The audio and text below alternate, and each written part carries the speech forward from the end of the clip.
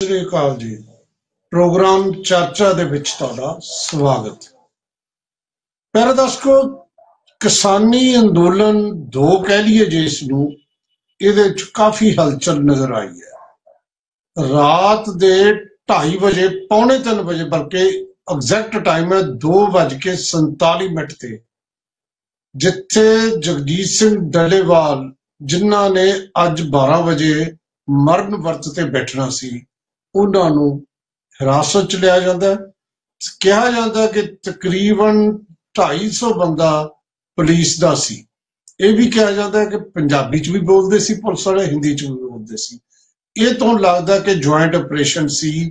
ਕਿਸਾਨਾਂ ਦਾ ਇਹ ਕਹਿਣਾ ਹੈ ਕਿ ਉਹਨਾਂ ਨੂੰ ਹਿਰਾਸਤ ਚ ਲੈ ਕੇ ਗ੍ਰਿਫਤਾਰ ਕਰਕੇ ਲੈ ਗਏ। ਤੇ ਫਿਰ 9 9:30 ਵਜੇ ਤੱਕ ਪਤਾ ਲੱਗਿਆ ਕਿ ਉਹਨਾਂ ਨੂੰ ਡੀਐਮਸੀ ਲੁਧਿਆਣਾ ਦੇ ਵਿੱਚ ਲੈ ਕੇ ਗਏ।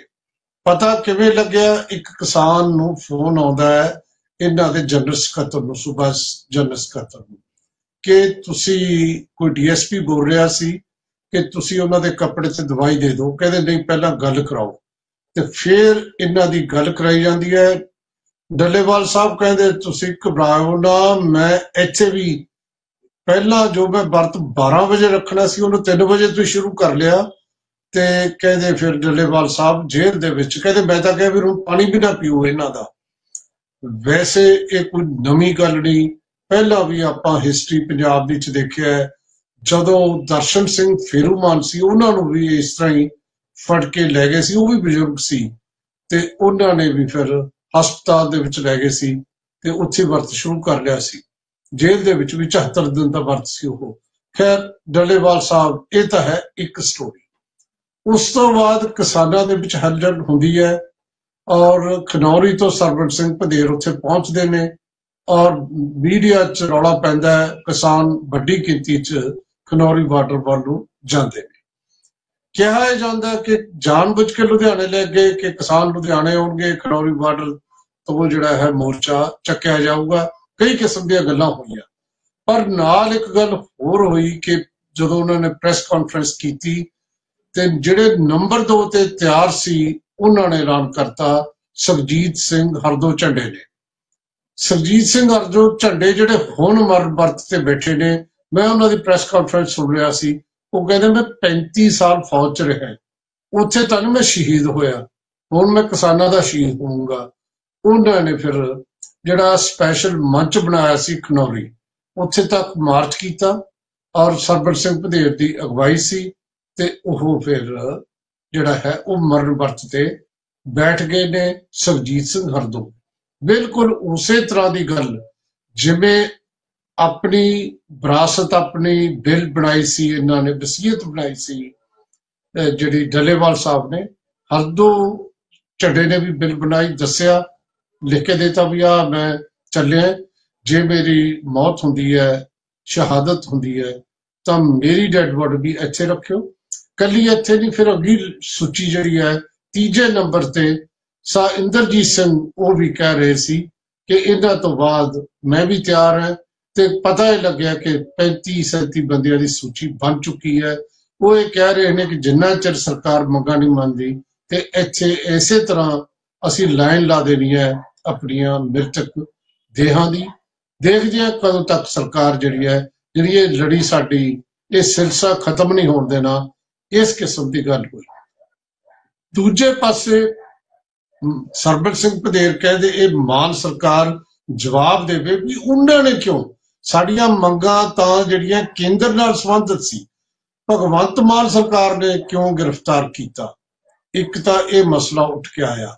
ਕੀਤਾ ਗ੍ਰਿਫਤਾਰ ਕਿਉਂਕਿ ਜਿਹੜਾ ਰਾਜ ਮੰਤਰੀ ਨੇ ਰਵਨੀਤ ਸਿੰਘ ਬਿੱਟੂ, ਉਹਨਾਂ ਨੇ ਵੀ ਬਲਦੀ ਤੇ ਤੇਲ ਪਾਤਾ। ਉਹ ਕਹਿੰਦੇ ਕੀਤਾ ਹੀ ਗ੍ਰਿਫਤਾਰ ਇਹਨਾਂ ਨੇ ਕਿਉਂਕਿ ਕੇਂਦਰ ਨੂੰ ਬਦਨਾਮ ਕਰਨਾ ਚਾਹੁੰਦੇ ਸੀ। ਸਾਡਾ ਕੇਂਦਰ ਦਾ ਤਾਂ ਇਹਦੇ ਵਿੱਚ ਕੋਈ ਹੱਥ ਹੀ ਨਹੀਂ ਹੈ। ਤੇ ਉਹ ਗੱਲ ਨੂੰ ਸਾਬਤ ਕਰਤਾ ਮਨਦੀਪ ਸਿੰਘ ਸਿੱਧੂ ਨੇ, ਡੀਆਈਜੀ ਨੇ। ਉਹ ਕਹਿੰਦੇ ਵੀ ਅਸੀਂ ਇਸ ਕਰਕੇ ਗ੍ਰਿਫਤਾਰ ਕੀਤਾ ਸਾਨੂੰ ਡੱਲੇਵਾਲ ਇੱਕ ਬਜ਼ੁਰਗ ਨੇ, ਉਹਨਾਂ ਦੀ ਸਿਹਤ ਦਾ ਖਿਆਲ ਸੀ। ਸੋ ਇਹ ਮਸਲਾ ਜਿਹੜਾ ਹੈ, ਇਸ ਤਰੀਕੇ ਨਾਲ ਉਲਝਦਾ ਨਜ਼ਰ ਆਉਂਦਾ ਹਿਲਜੁਲ ਵੱਧ ਰਹੀ ਹੈ। ਦੋਨੇ ਥਾਵਾਂ ਤੇ ਕਨੌਰੀ ਵੀ ਵੱਧ ਗਈ। ਬਦਨੀ ਸੀ ਉੱਥੇ ਤਾਂ ਬਰਬਰ ਸ਼ੁਰੂ ਹੋ ਗਿਆ ਤੇ ਦੂਜੇ ਪਾਸੇ ਸ਼ੰਭੂ ਬਾਰਡਰ ਤੇ ਵੀ ਅੱਜ ਹਿਲਚੁਲ ਇਸ ਕਰਕੇ ਕਿਉਂਕਿ ਦੋਨੇ ਇਹਨਾਂ ਦੇ ਪ੍ਰੋਗਰਾਮ ਸੀ 6 ਦਸੰਬਰ ਨੂੰ ਦਿੱਲੀ ਵੱਲ ਨੂੰ ਜਾਣਾ ਹੈ ਤੇ 10 ਦਿਨ ਦਿੱਤੇ ਨੇ ਸਰਬਰ ਸਿੰਘ ਪਧੇਰ ਕਹਿੰਦੇ। ਉੱਥੇ ਇਹ ਪਤਾ ਲੱਗਿਆ ਕਿ ਹਰਿਆਣਾ ਵਾਲੇ ਪਾਸੇ ਅਥੌੜੇ ਚੱਲ ਰਹੇ ਨੇ। ਕਹਿੰਦੇ ਨੇ ਕਿ 4 ਫੁੱਟ ਦਾ ਰਸਤਾ ਉੱਥੇ ਵੀ ਦੇਣ ਦੀ ਤਿਆਰੀ ਕੀਤੀ ਹੋਈ ਹੈ। ਇਹ ਸਾਰੇ ਹਾਲਾਤ 'ਚ ਕਿਸਾਨਾਂ ਦੇ ਬੇਚੈਨੀ ਸਮਝ ਆਉਂਦੀ ਹੈ ਕਿ ਕਿਸ ਤਰੀਕੇ ਦੇ ਦੋ ਵਰਤ ਸਰਕਾਰ ਇੱਕ ਨੂੰ ਰੋਕਣਾ ਚਾਹੁੰਦੀ ਸੀ, ਇਹ ਦੂਜਾ ਵਰਤ ਸ਼ੁਰੂ ਹੋ ਗਿਆ। ਇਹ ਤੇ ਅੱਜ ਆਪਾਂ ਚਰਚਾ ਕਰਦੇ ਹਾਂ ਤੇ ਚਰਚਾ ਕਰਨ ਲਈ ਸਾਡੇ ਨਾਲ ਜਿਹੜੇ ਮਹਿਮਾਨ ਜੁੜੇ ਨੇ, ਉਹਨਾਂ 'ਚ ਸਤਪਾਲ ਸਿੰਘ ਸਿੱਧੂ ਸਾਹਿਬ ਨੇ। ਸਤਪਾਲ ਸਿੱਧੂ ਸਾਬਕਾ ਪੁਲਿਸ ਅਧਿਕਾਰੀ ਨੇ ਔਰ ਕਿਸਾਨ ਨੇ। ਉਹ ਸਾਡੇ ਨਾਲ ਨੇ, ਕੁਲਦੀਪ ਸਿੰਘ ਧਾਲੀਵਾਲ ਨੇ ਭਾਰਤੀ ਜਨਤਾ ਪਾਰਟੀ ਤੋਂ। ਜਸਵਿੰਦਰ ਸਿੰਘ ਸੇਖਾਵਾਲਾ ਨੇ ਕਾਂਗਰਸ ਪਾਰਟੀ ਦੀ ਨੁਮਾਇੰਦਗੀ ਕਰ ਰਹੇ ਨੇ ਇਸ ਪ੍ਰੋਗਰਾਮ 'ਚ। ਸਰਦਾਰ ਅਕਬਰ ਸਿੰਘ ਬਿਰਕਲ, ਸ਼੍ਰੋਮਣੀ ਅਕਾਲੀ ਦਲ ਵੱਲੋਂ ਸ਼ਾਮਲ ਨੇ। ਤੇ ਕਿਸਾਨ ਲੀਡਰ, ਕਿਸਾਨ ਆਗੂ ਬੂਟਾ ਸਿੰਘ ਸ਼ਾਦੀਪੁਰ ਸਾਹਿਬ ਸਾਡੇ ਨਾਲ ਨੇ। ਤੁਹਾਡਾ ਸਭ ਦਾ ਬਹੁਤ ਬਹੁਤ ਸਵਾਗਤ। ਸ਼ਾਦੀਪੁਰ ਜੀ ਗੱਲ ਕਿਉਂਕਿ ਤੁਹਾਡੇ ਨਾਲ ਸਿੱਧੇ ਤੌਰ ਤੇ ਕਿਸਾਨਾਂ ਨਾਲ ਸੰਬੰਧਿਤ ਹੈ, ਚਾਹੇ ਜਥੇਬੰਦੀ ਕੋਈ ਵੀ ਹੋਵੇ, ਮਸਲਾ ਤਾਂ ਕਿਸਾਨਾਂ ਦਾ ਹੈ। ਕਿਵੇਂ ਦੇਖਦੇ ਹੋ ਸਾਰੀ ਜੋ ਡਿਵੈਲਪਮੈਂਟ ਹੋਈ ਹੈ ਇਸ ਅਸਲ ਵਿੱਚ ਜੀ, ਜੋ ਅਸੀਂ ਸਮਝਦੇ ਆ ਉਹ ਐ ਲੱਗਦਾ ਵੀ ਸਰਕਾਰਾਂ ਜਿਹੜੀਆਂ ਨੇ, ਇਹ ਕੋਈ ਗੱਲ ਨੂੰ ਸੁਲਝਾਉਣਾ ਚਾਹੁੰਦੀਆਂ ਨਹੀਂ। ਇਹ ਬਲਕਿ ਉਲਝਾਉਣਾ ਹੀ ਚਾਹੁੰਦੀਆਂ ਨੇ। ਵੀ ਕਿਸਾਨ ਮਜ਼ਦੂਰ ਜਿਹੜਾ ਹੈ, ਜਿਹੜੇ ਇਹ ਲੜਾਈ ਲੜ ਰਹੇ ਨੇ, ਇਹ ਇਸ ਲੜਾਈ ਦੇ ਵਿੱਚ ਉਲਝੇ ਰਹਿ ਨਾ ਤਾਂ ਇਹ ਮੰਗਾ ਜਿਹੜੀਆਂ ਨੇ ਸਾਡੀਆਂ ਮੰਨਣੀਆਂ ਚਾਹੁੰਦੀਆਂ ਨੇ, ਨਾ ਟੇਬਲ ਟਾਕ ਕਰਨਾ ਚਾਹੁੰਦੀਆਂ ਨੇ, ਨਾ ਸਾਨੂੰ ਮਰਨ ਹੀ ਦਿੰਦੀਆਂ ਤੇ ਨਾ ਸਾਨੂੰ ਜਿਉਣ ਦਿੰਦੀਆਂ ਨੇ। ਇਹ ਸਰਕਾਰਾਂ ਦੀ ਸੋਚ ਵੀ ਸਮਝ ਨਹੀਂ ਲੱਗ ਰਹੀ ਇਹਨਾਂ ਦੀ ਸੋਚ ਕੀ ਹੈ। ਜਾਂ ਤਾਂ ਸਰਕਾਰ ਦਾ ਫਰਜ਼ ਬਣਦਾ ਹੈ ਚੁੱਕਣ ਤੋਂ ਪਹਿਲਾਂ ਕਿਸਾਨਾਂ ਨੂੰ ਬੁਲਾਉਂਦੀ ਵੀ ਆਓ ਆਪਾਂ ਬਹਿ ਕੇ ਮਸਲਾ ਹੱਲ ਕਰਦੇ ਆ ਤੇ ਮਸਲਾ ਵੀ ਸਾਰਾ ਕੇਂਦਰ ਸਰਕਾਰ ਨਾਲੇ ਬਹੁਤੀਆਂ ਮੰਗਾਂ ਤਾਂ ਕੇਂਦਰ ਦੇ ਨਾਲ ਨੇ ਨਾ। ਤੇ ਇਹ ਪੰਜਾਬ ਸਰਕਾਰ ਨੇ ਜਾਣ ਬੁੱਝ ਕੇ ਆਪਣੇ ਗਲ ਦੇ ਵਿੱਚ ਕਿ ਫਾਹ ਪਾ ਲਿਆ ਬਿਨਾ ਵਜ੍ਹਾ ਤੋਂ। ਇਹ ਕੇਂਦਰ ਸਰਕਾਰ ਸਾਨੂੰ ਚੁੱਕਦੀ, ਸਾਡੇ ਆਗੂ ਨੂੰ ਕੇਂਦਰ ਸਰਕਾਰ ਚੁੱਕਦੀ ਹੈ ਕੇਂਦਰ ਦੇ ਨਾਲ ਲੜਾਈ ਲੜ ਰਹੇ ਆ ਪਤਾ ਲੱਗ ਜਾਂਦਾ ਅੱਜ ਬਿੱਟੂ ਦਾ ਨਾਂ ਇਹਨਾਂ ਦੇ ਉੱਤੇ ਬਿਆਨ ਦਿੰਦਾ ਕੋਈ। ਬਈ ਅਸੀਂ ਤਾਂ ਕੋਈ ਗੱਲ ਨਹੀਂ ਕੀਤੀ ਜੀ, ਇਹਨਾਂ ਨੇ ਚੱਕ ਲਿਆ। ਹੁਣ ਫਿਰ ਪੰਜਾਬ ਸਰਕਾਰ ਦੀ ਇਹ ਸਭ ਤੋਂ ਵੱਡੀ ਜ਼ਿੰਮੇਵਾਰੀ ਸੀ ਕਿ ਆਓ ਭਾਈ, ਆਪਾਂ ਕਿਸਾਨਾਂ ਨੂੰ ਬਿਠਾਉਣੇ ਆ ਕਿਸਾਨਾਂ ਨਾਲ ਬੈਠ ਕੇ ਗੱਲ ਕਰਦੇ ਆ ਜੇ ਸਾਥੋਂ ਨਹੀਂ ਗੱਲ ਨਿਬੜਦੀ ਕੋਈ, ਤੇ ਅਸੀਂ ਕੇਂਦਰ ਸਰਕਾਰ ਦੇ ਨਾਲ ਗੱਲ ਕਰਾਉਣ ਦਾ ਯਤਨ ਕਰਦੇ ਆ ਤੁਹਾਡਾ। ਤੇ ਇਹਨਾਂ ਦੀਆਂ ਮੰਗੀਆਂ, ਜਿਹੜੀਆਂ ਮੰਨੀਆਂ ਮੰਗਾਂ ਨੇ, ਉਹਨਾਂ ਨੂੰ ਲਾਗੂ ਕੀਤਾ ਜਾਵੇ ਔਰ ਜਲਦੀ ਕੀਤਾ ਜਾਵੇ। ਜੋ ਸਰਕਾਰ ਨੂੰ ਰੋਲ ਅਦਾ ਕਰਨਾ ਚਾਹੀਦਾ ਸੀ ਉਹ ਸਰਕਾਰ ਨੇ ਨਹੀਂ ਕੀਤਾ ਬਿਲਕੁਲ ਹੀ ਸਰਕਾਰ ਨੇ ਗਲਤੀ ਕੀਤੀ ਹੈ ਬਹੁਤ ਵੱਡੀ ਹੈ ਜਿਹੜਾ ਤੇ ਬੱਲੇਵਾਲ ਨੂੰ ਚੱਕ ਕੇ ਤੇ ਹਸਪੀਟਲ ਦੇ ਵਿੱਚ ਲੈ ਗਏ ਐਂ ਕਹਿੰਦੇ ਕਿ ਅਰੈਸਟ ਕਰ ਲਿਆ ਡਿਟੇਨ ਕਰਕੇ ਉਹਨੂੰ ਲੈ ਗਏ ਨੇ। ਇਹ ਬਹੁਤ ਵੱਡੀ ਗਲਤੀ ਹੈ ਆਪਣੇ ਭਗਵੰਤ ਮਾਨ ਸਰਕਾਰ ਦੀ। ਇਹਦਾ ਸਬਿਆਜ ਹੈ ਜਿਹੜਾ ਸਰਕਾਰ ਇਹ ਕਹਿੰਦੀ ਹੈ ਸ਼ਾਦੀਪੁਰ ਜੀ ਬਲਦੀਪ ਸਿੱਧੂ ਦਾ ਬਿਆਨ ਆਇਆ, ਕਹਿੰਦੇ ਸਾਨੂੰ ਤਾਂ ਉਹਨਾਂ ਦੀ ਸਿਹਤ ਦਾ ਖਿਆਲ ਹੈ, ਤਾਂ ਚੱਕ ਕੇ ਪੌਣੇ 3 ਵਜੇ ਰਾਤ ਨੂੰ ਚੱਕ ਕੇ ਲੈ ਗਏ ਕਹਿੰਦੇ ਅਸੀਂ ਨਹੀਂ, ਇਹਨਾਂ ਨੂੰ ਦਰਵਾਜ਼ੇ ਤੋੜਨ ਦੀ ਕੀ ਲੋੜ ਸੀ? ਦਿਨ ਨਹੀਂ ਸੀ ਚੜਨਾ ਜੀ। ਦਿਨ ਵੀ ਤਾਂ ਚੜਨਾ ਸੀ। ਦਰਵਾਜ਼ੇ ਕਾਤੋਂ ਤੋੜੇ? ਦਰਵਾਜ਼ੇ ਤੋੜ ਕੇ ਉਹਨੂੰ ਚੱਕ ਕੇ ਲੈ ਗਏ। ਬਜ਼ੁਰਗ ਆਗੂ ਇਹਨਾਂ ਨੂੰ ਸਿਹਤ ਦਾ ਖਿਆਲ ਸੀਗਾ। ਅੱਜ ਕਿੰਨੇ ਦਿਨ ਹੋ ਗਏ ਉਹਨਾਂ ਨੂੰ ਐਲਾਨ ਕੀਤਿਆਂ ਨੂੰ? ਅੱਜ ਦੇਖੋ ਕਿੰਨੇ ਦਿਨ ਹੋ ਗਏ ਉਹਨਾਂ ਨੂੰ ਐਲਾਨ ਕੀਤਿਆਂ ਨੂੰ? ਤੇ ਜੇ ਇੰਨਾ ਹੀ ਇਹਨਾਂ ਨੂੰ ਸਿਹਤ ਦਾ ਖਿਆਲ ਸੀ ਤੇ ਉਧਰ ਦੀ ਸਰਕਾਰ ਇਹਨਾਂ ਨੂੰ ਕਹਿੰਦੀ ਵੀ ਲਿਆਓ ਭਾਈ, ਸਾਡੇ ਨਾਲ ਗੱਲਬਾਤ ਵਾਸਤੇ ਸਮਾਂ ਰੱਖੋ। ਅਸੀਂ ਕਿਸਾਨ ਆਗੂਆਂ ਨਾਲ ਬੈਠ ਕੇ ਗੱਲ ਕਰਨੀ ਚਾਹੁੰਦੇ ਆ ਜਦੋਂ ਪਿਛਲੇ ਸਮੇਂ ਦੇ ਵਿੱਚ ਵੀ ਗੱਲਾਂ ਇਹ ਦੋਵਾਂ ਗਰੁੱਪਾਂ ਨਾਲ ਪੰਜਾਬ ਸਰਕਾਰ ਦੀਆਂ ਹੋਈਆਂ, ਕੇਂਦਰ ਸਰਕਾਰ ਦੇ ਮੰਤਰੀ ਆਉਂਦੇ ਰਹੇ, ਨਹੀਂ ਸੀ ਕੋਈ ਗੱਲ ਨਿਬੜਦੀ, ਕੁਦਰਤੀ ਤੌਰ ਤੇ ਮੇਰੇ ਨਾਲ ਇੱਕ ਦਿਨ ਗੱਲ ਹੁੰਦੀ ਆ, ਕੇਂਦਰੀ ਮੰਤਰੀ ਕਿਸੇ ਦੀ। ਤੇ ਉਹਨਾਂ ਨੂੰ ਕਿਹਾ ਵੀ ਤੁਸੀਂ ਇੱਕ ਕੰਮ ਕਰੋ, ਪੰਜਾਬ ਦੇ ਅੰਦਰ ਜਿਹੜੀਆਂ ਵੀ ਜਥੇਬੰਦੀਆਂ ਨੇ ਸਾਰਿਆਂ ਨੂੰ ਇਕੱਠਿਆਂ ਕਰ ਲਿਓ ਸਾਰਿਆਂ ਨੂੰ ਇਕੱਠਿਆਂ ਕਰਕੇ ਤੇ ਗੱਲਬਾਤ ਕਰ ਲਓ। ਗੱਲਬਾਤ ਜਦੋਂ ਕਰੋ ਕੋਈ ਰਸਤਾ ਜ਼ਰੂਰ ਨਿਕਲ ਆਵੇਗਾ। ਇਹ ਤਾਂ ਗੱਲ ਕਹਿਣੀ ਪਈ ਮੈਨੂੰ। ਸੁਪਰ ਜੀ ਕਮੇਟੀ ਨਾਲ ਤੁਸੀਂ ਕੀਤੀ ਹੈ ਤੋੜ ਕੇ ਲੈ ਕੇ ਸਾਡੇ ਨਾਲ ਸਾਬਕਾ ਐਸਐਸਪੀ ਬੈਠੇ ਨੇ ਔਰ ਕਿਸਾਨ ਵੀ ਨੇ। ਐਸਐਸਪੀ ਦੇ ਤੌਰ ਤੇ ਵੀ ਸਾਨੂੰ ਦੱਸਣਗੇ ਕਿ ਮਸਲਾ ਸਿੱਧੂ ਸਾਹਿਬ ਕਿਵੇਂ ਹੈ। ਜਿਸ ਤਰੀਕੇ ਨਾਲ ਤੋੜ ਦਰਵਾਜ਼ੇ ਤੋੜ ਕੇ ਚੱਕਿਆ ਗਿਆ ਹੈ ਇਹਨੂੰ ਕਿਵੇਂ ਦੇਖਦੇ ਹੋ ਜਿਹੜਾ ਰਾਤ ਦਾ ਤੁਹਾਡਾ ਪੁਲਿਸ ਦਾ ਐਕਸ਼ਨ ਹੈ? ਤੁਹਾਡਾ ਮੈਂ ਇਸ ਕਰਕੇ ਕਹਿੰਦੇ, ਤੁਸੀਂ ਹਿੱਸਾ ਰਹੇ ਹੋ ਪੁਲਿਸ ਦਾ। ਵਾਲੇ ਸਾਹਿਬ, ਗੱਲ ਪਤਾ ਕੀ ਹੈ ਇਹ?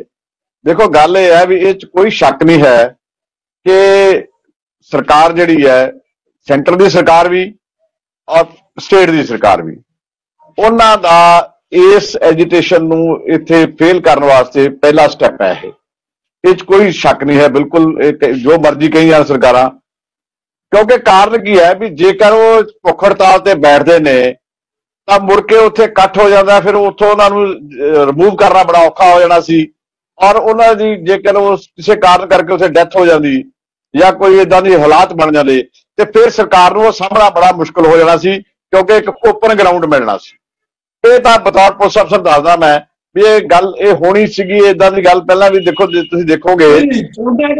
ਜਿਵੇਂ ਹੁਣ ਹਰ ਦੋ ਝੰਡੇ ਬੈਠ ਗਿਆ ਮਰਨ ਵਰਤ ਤੇ। ਇਹ ਇਹ ਤਾਂ ਵੀ ਉਹੀ ਗੱਲ ਜਿਹੜੀ ਤੁਸੀਂ ਕਹਿੰਦੇ ਹੋ, ਉਹ ਤਾਂ ਇੱਥੇ ਹੁਣ ਵੀ ਵਾਪਰ ਸਕਦੀ ਹੈ। ਨਹੀਂ ਨਹੀਂ ਨਹੀਂ ਨਹੀਂ ਗੱਲ ਸੁਣੋ ਜੀ, ਗੱਲ ਪਤਾ ਕੀ ਹੈ ਵਾਲੀਆ ਸਾਹਿਬ? ਗੱਲ ਇਹ ਹੈ ਕਿ ਜਿਸ ਇੱਕ ਲੀਡਰਸ਼ਿਪ ਦਾ ਸਟੇਟਸ ਅਲੱਗ ਹੁੰਦਾ, ਦੂਜੀ ਲੀਡਰਸ਼ਿਪ ਦਾ ਸਟੇਟਸ ਅਲੱਗ ਹੁੰਦਾ। ਇਹ ਯਾਦ ਰੱਖੋ ਕਿ ਜਿਹੜੀ ਜਿਹੜੀ ਲੀਡਰਸ਼ਿਪ ਵੱਡੀ ਹੁੰਦੀ ਹੈ, ਹਮੇਸ਼ਾ ਉਹਦਾ ਕੁਝ ਹੋਰ ਗੱਲ ਹੁੰਦੀ ਹੈ। ਤੁਸੀਂ ਦੇਖੋ ਮੇਰੀ ਗੱਲ ਸੁਣੋ, ਸੰਤ ਫਤਿਹ ਸਿੰਘ ਬੈਠੇ ਸੀਗੇ ਮਰਨ ਵਰਤੇ ਤੇ ਉਦੋਂ ਹਾਲਾਤ ਕਿੰਨੇ ਮਾੜੇ ਸੀ, ਕਿੰਨਾ ਸਰਕਾਰਾਂ ਨੇ ਜ਼ੋਰ ਲਾਇਆ ਔਰ ਉਹਨਾਂ ਨੂੰ ਉਠਾਇਆ ਗਿਆ। ਲੇਕਿਨ ਦੂਜੇ ਪਾਸੇ ਦਰਸ਼ਨ ਸਿੰਘ ਫੇਰੂ ਮਾਰ ਮਰ ਗਿਆ। ਹੈ ਤਾਂ ਉਹ ਵੀ ਉਸੇ ਗੱਲ ਤੇ ਬੈਠਾ ਸੀ ਨਾ, ਮਰਨ ਵਰਤਾ ਉਸਨੇ ਵੀ ਇਸੇ ਗੱਲ ਦਾ ਰੱਖਿਆ ਸੀਗਾ। ਬਾਪੂ ਸੂਰਤ ਸਿੰਘ ਜਿਹੜੇ ਸੀਗੇ, ਉਹ ਵੀ ਤਾਂ ਛਡਾਉਣ ਵਾਸਤੇ ਬੈਠੇ ਸੀਗੇ। ਉਹ ਕਿੰਨਾ ਚਿਰ ਬੈਠੇ ਰਹੇ?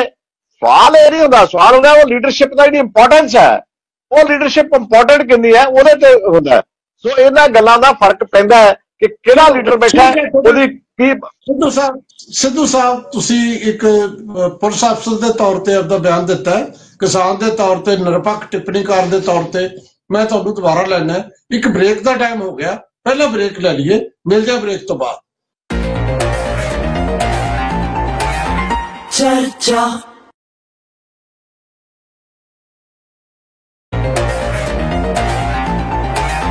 ਚਰਚਾ।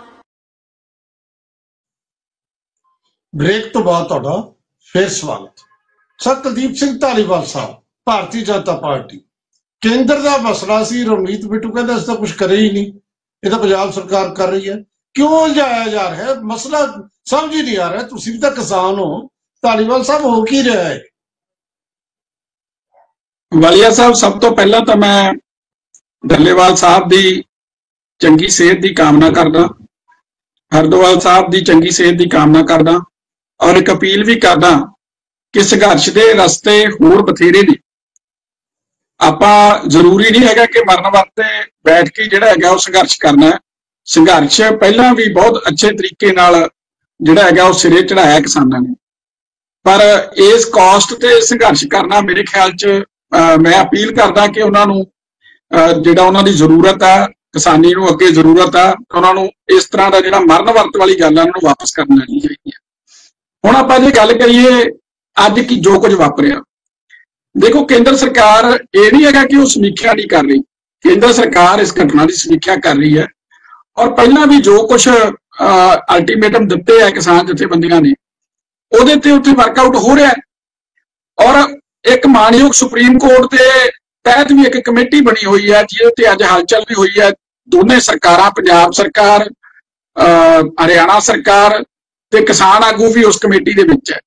ਜਿਹਦੇ ਰਾਹੀਂ ਜਿਹੜਾ ਹੈਗਾ ਹੈ ਕਿ ਉਹ ਕਿਸ ਤਰੀਕੇ ਨਾਲ ਆਪਦਾ ਸ਼ਾਂਤੀਪੂਰਕ ਸੰਘਰਸ਼ ਕਰ ਰਹੇ ਹਨ ਕਿਸਾਨ, ਉਹਦਾ ਰਸਤਾ ਤਿਆਰ ਕੀਤਾ ਜਾ ਰਿਹਾ। ਔਰ ਗੱਲਬਾਤ ਲਈ ਵੀ ਜਿਹੜਾ ਹੈਗਾ ਟੀਮਾਂ ਉੱਥੇ ਜਿਹੜੀਆਂ ਹੈਗੀਆਂ ਗਠਨ ਹੋ ਰਹੀਆਂ ਹੁਣ ਇਹਦੇ ਲਈ ਜੋ ਇਹਦੇ ਵਿਚਕਾਰ ਇੱਕ ਘਟਨਾ ਅੱਜ ਜਿਹੜੀ ਆ ਵਾਪਰ ਗਈ, ਜਿਹਦੇ ਚ ਸਵੇਰ ਇੱਕ ਬਹੁਤ ਵੱਡਾ ਭੰਬਲ ਭੂਸਾ ਖੜਾ ਕੀਤਾ ਗਿਆ। ਪੰਧੇਰ ਸਾਹਿਬ ਨੇ ਵੀ ਬਿਆਨ ਦਿੱਤਾ ਕਿ ਜੀ, ਹਿੰਦੀ ਬੋਲਣ ਵਾਲੇ ਸੀਗੇ। ਸਾਨੂੰ ਤਾਂ ਚੱਕ ਕੇ ਲੈ ਗਏ ਜੀ। ਉਹ ਕੀਤਾ। ਪੰਜਾਬ ਸਰਕਾਰ ਨੇ ਸੀ ਕਲੀਅਰ ਕਰਨਾ ਪਿਆ। ਅਸੀਂ ਇਮੀਡੀਏਟਲੀ ਪ੍ਰੈਸ਼ਰ ਬਣਾਇਆ, ਸਾਰੇ ਕਿਤੇ ਮੀਡੀਆ ਚ ਆਏ, ਬਿਆਨ ਦਿੱਤੇ, ਮੈਂ ਵੀ ਦਿੱਤਾ ਬਿੱਟੂ ਜੀ ਨੇ ਵੀ ਦਿੱਤਾ, ਦੂਜੇ ਸਾਡੇ ਆਗੂਆਂ ਨੇ ਵੀ ਦਿੱਤਾ ਕਿ ਭਾਈ ਸਾਡਾ ਕੇਂਦਰ ਸਰਕਾਰ ਦਾ ਇਹਦੇ ਵਿੱਚ ਕੋਈ ਲੈਣਾ ਦੇਣਾ ਨਹੀਂ। ਮੁੱਖ ਮੰਤਰੀ ਸਾਹਿਬ ਦੱਸਣਗੇ ਕਿੱਥੇ ਨੇ ਡੱਲੇਵਾਲ ਸਾਹਿਬ।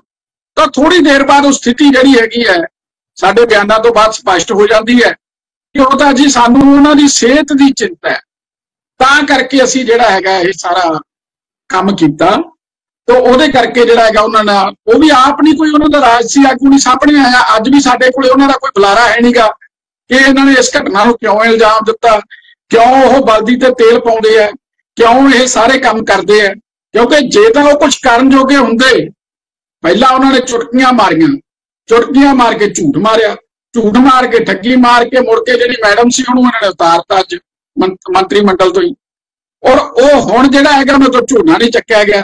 ਕਿਸਾਨਾਂ ਦਾ ਸੰਘਰਸ਼ ਪੰਜਾਬ ਦੇ ਵਿੱਚ ਬਹੁਤ ਵੱਡਾ। ਪੰਜਾਬ 'ਚ ਕਿਸਾਨ ਜਿਹੜਾ ਕੁਝ ਵੀ ਨਹੀਂ ਮਿਲ ਰਿਹਾ ਜਿਹੜਾ ਕਿਸਾਨਾਂ ਨੂੰ। ਪਰ ਉਹਦੇ ਬਾਵਜੂਦ ਜਿਹੜਾ ਹੈਗਾ ਹੈ, ਪੰਜਾਬ ਦੇ ਕਿਸਾਨ ਜਿਹੜੇ ਆ ਉਹ ਕੇਂਦਰ ਨਾਲ ਸੰਘਰਸ਼ ਕਰਨਾ ਚਾਹੁੰਦੇ ਆ। ਇਹ ਨਲਾਇਕੀ ਹੈ ਪੰਜਾਬ ਸਰਕਾਰ ਦੀ। ਜੇ ਐਮਐਸਪੀ ਦੀ ਵੀ ਅੱਜ ਆਪਾਂ ਗੱਲ ਕਰੀਏ ਤਾਂ ਹਰਿਆਣੇ ਦੀ 14 ਬਦਲਾਂ ਦੀ ਐਮਐਸਪੀ ਦਾ ਦੇਈ ਜਾਂਦੇ ਆ ਤੇ ਅਗਲੇ 5 ਸਾਲਾਂ 'ਚ ਅਸੀਂ ਤੇਈਆਂ ਦੀ ਕਈਆਂ ਦੀ ਪੂਰੀ ਕਰ ਦੇਣੀ ਹੈ ਅਸੀਂ ਤਾਂ ਮਾਡਲ ਬਣਾ ਕੇ ਦਿਖਾਤਾ ਸੂਬਾ। ਕਿ ਕਿਵੇਂ ਤੀਆਂ ਫਸਲਾਂ ਦੀ ਜਿਹੜੀ ਕਿ ਐਮਐਸਪੀ ਦੇ ਦਿੱਤੀ ਜਾ ਸਕਦੀ ਹੈ ਸੂਬਾ ਸਰਕਾਰ ਦੇ ਸਕਦੀ ਜੇ ਚਾਵੇ ਤੇ ਜਿਨ੍ਹਾਂ ਨੇ ਧੋਖਾ ਕੀਤਾ, ਉਹਨਾਂ ਨੂੰ ਜਿਹੜਾ ਹੈਗਾ ਸੰਘਰਸ਼ੀ ਲਾਗੂ ਪੁੱਛਦੇ ਵੀ ਨਹੀਂ। ਉਹਨਾਂ ਦੇ ਕਿਉਂ ਹੱਥ ਟੋਕੇ ਬਣੇ ਹੋਏ ਆਪਾਂ? ਕਿਉਂ ਨਹੀਂ ਆਪਾਂ ਉਹਨਾਂ ਨੂੰ ਪ੍ਰਸ਼ਨ ਕਰਦੇ? ਤਾਂ ਇਹ ਸਾਰੀਆਂ ਚੀਜ਼ਾਂ ਪ੍ਰਸ਼ਨ ਦੇ ਘੇਰੇ 'ਚ ਆ। ਪਰ ਉਹਦੇ ਬਾਵਜੂਦ, ਇਸ ਦੇ ਬਾਵਜੂਦ ਕਿ 41000 ਕਰੋੜ ਦੀ ਐਮਐਸਪੀ ਤੇ ਹੁਣੇ ਹੀ ਕਣਕ ਝੋਨੇ ਵਾਸਤੇ ਕੇਂਦਰ ਸਰਕਾਰ ਨੇ ਦਿੱਤਾ ਹੈ। ਪੰਜ ਫਸਲਾਂ ਦੀ, ਬਦਲਵੀਆਂ ਫਸਲਾਂ ਦੀ ਸਰਕਾਰੀ ਖਰੀਦ ਪੰਧੇਰ ਸਾਹਿਬ ਠੋਕਰ ਮਾਰ ਗਏ। ਪੰਜਾਬ 'ਚ ਵੜ ਨਹੀਂ ਦਿੱਤੀ। ਡੱਲੇਵਾਲ ਸਾਹਿਬ ਠੋਕਰ ਮਾਰ ਗਏ। ਪੰਜਾਬ 'ਚ ਵੜ ਨਹੀਂ ਦਿੱਤੀ। ਕੇਂਦਰ ਸਰਕਾਰ ਦੇਣ ਨੂੰ ਤਿਆਰ ਗੱਲਬਾਤ ਲਈ ਚੰਡੀਗੜ੍ਹ ਆਈ। ਇਹ ਨਹੀਂ ਕਿ ਗੱਲਬਾਤ ਬੰਦ ਹੈ ਕੇਂਦਰ ਵੱਲੋਂ। ਖੁਦ ਕੇਂਦਰੀ ਵਜ਼ੀਰ ਚੱਲ ਕੇ ਆਈ ਫਿਰ ਵੀ ਅਸੀਂ ਕਹਿੰਦੇ ਕੋਈ ਗੱਲ ਨਹੀਂ, ਚਲੋ ਤੁਸੀਂ ਸੰਘਰਸ਼ ਕਰਨਾ ਚਾਹੁੰਦੇ ਹੋ। ਤੁਸੀਂ ਆਏ ਹੋ, ਤੁਸੀਂ ਗੱਲ ਕਰਦੇ ਹੋ, ਤੁਹਾਡੇ ਨਾਲ ਗੱਲਬਾਤ ਕਰਾਂਗੇ। ਪਰ ਮੈਂ ਜ਼ਰੂਰ ਅਪੀਲ ਕਰਦਾ ਕਿ ਸੰਘਰਸ਼ ਜਾਨਲੇਵਾ ਨਹੀਂ ਹੋਣਾ ਚਾਹੀਦਾ। ਜਦੋਂ ਅੱਗੋਂ ਸਰਕਾਰ ਬਾਹਰ ਹੋਵੇ ਤੁਸੀਂ ਸਵੇਰੇ ਵੀ ਅਪੀਲ ਕੀਤੀ ਹੁਣ ਵੀ ਕੀਤੀ ਲੇਕਿਨ ਰਵਨੀਤ ਬਿੱਟੂ ਹੋਰਾਂ ਨੇ ਤੁਹਾਡੇ ਵੱਲੋਂ ਸਭ ਤੋਂ ਪਹਿਲਾਂ ਜਿਹੜੀ ਇਹ ਗੱਲ ਕਹੀ ਕਿ ਕੇਂਦਰ ਦਾ ਚਰੋੜ ਲਈ ਸੱਚਮੁੱਚ ਹੀ ਬੜਾ ਅਜੀਬ ਕਿਸਮ ਦਾ ਭਾਵਰ ਪੁੱਸਾ ਹੈ। ਸਰਵਨ ਸਿੰਘ ਪਧੇਰ ਵੀ ਬਾਰ-ਬਾਰ ਮਾਨ ਸਰਕਾਰ ਤੇ ਸਵਾਲ ਖੜੇ ਕਰਦੇ ਨੇ। ਜਸਵਿੰਦਰ ਸਿੰਘ ਸਿੱਖਾਵਾਲਾ ਸਾਹਿਬ ਕਾਂਗਰਸ ਪਾਰਟੀ।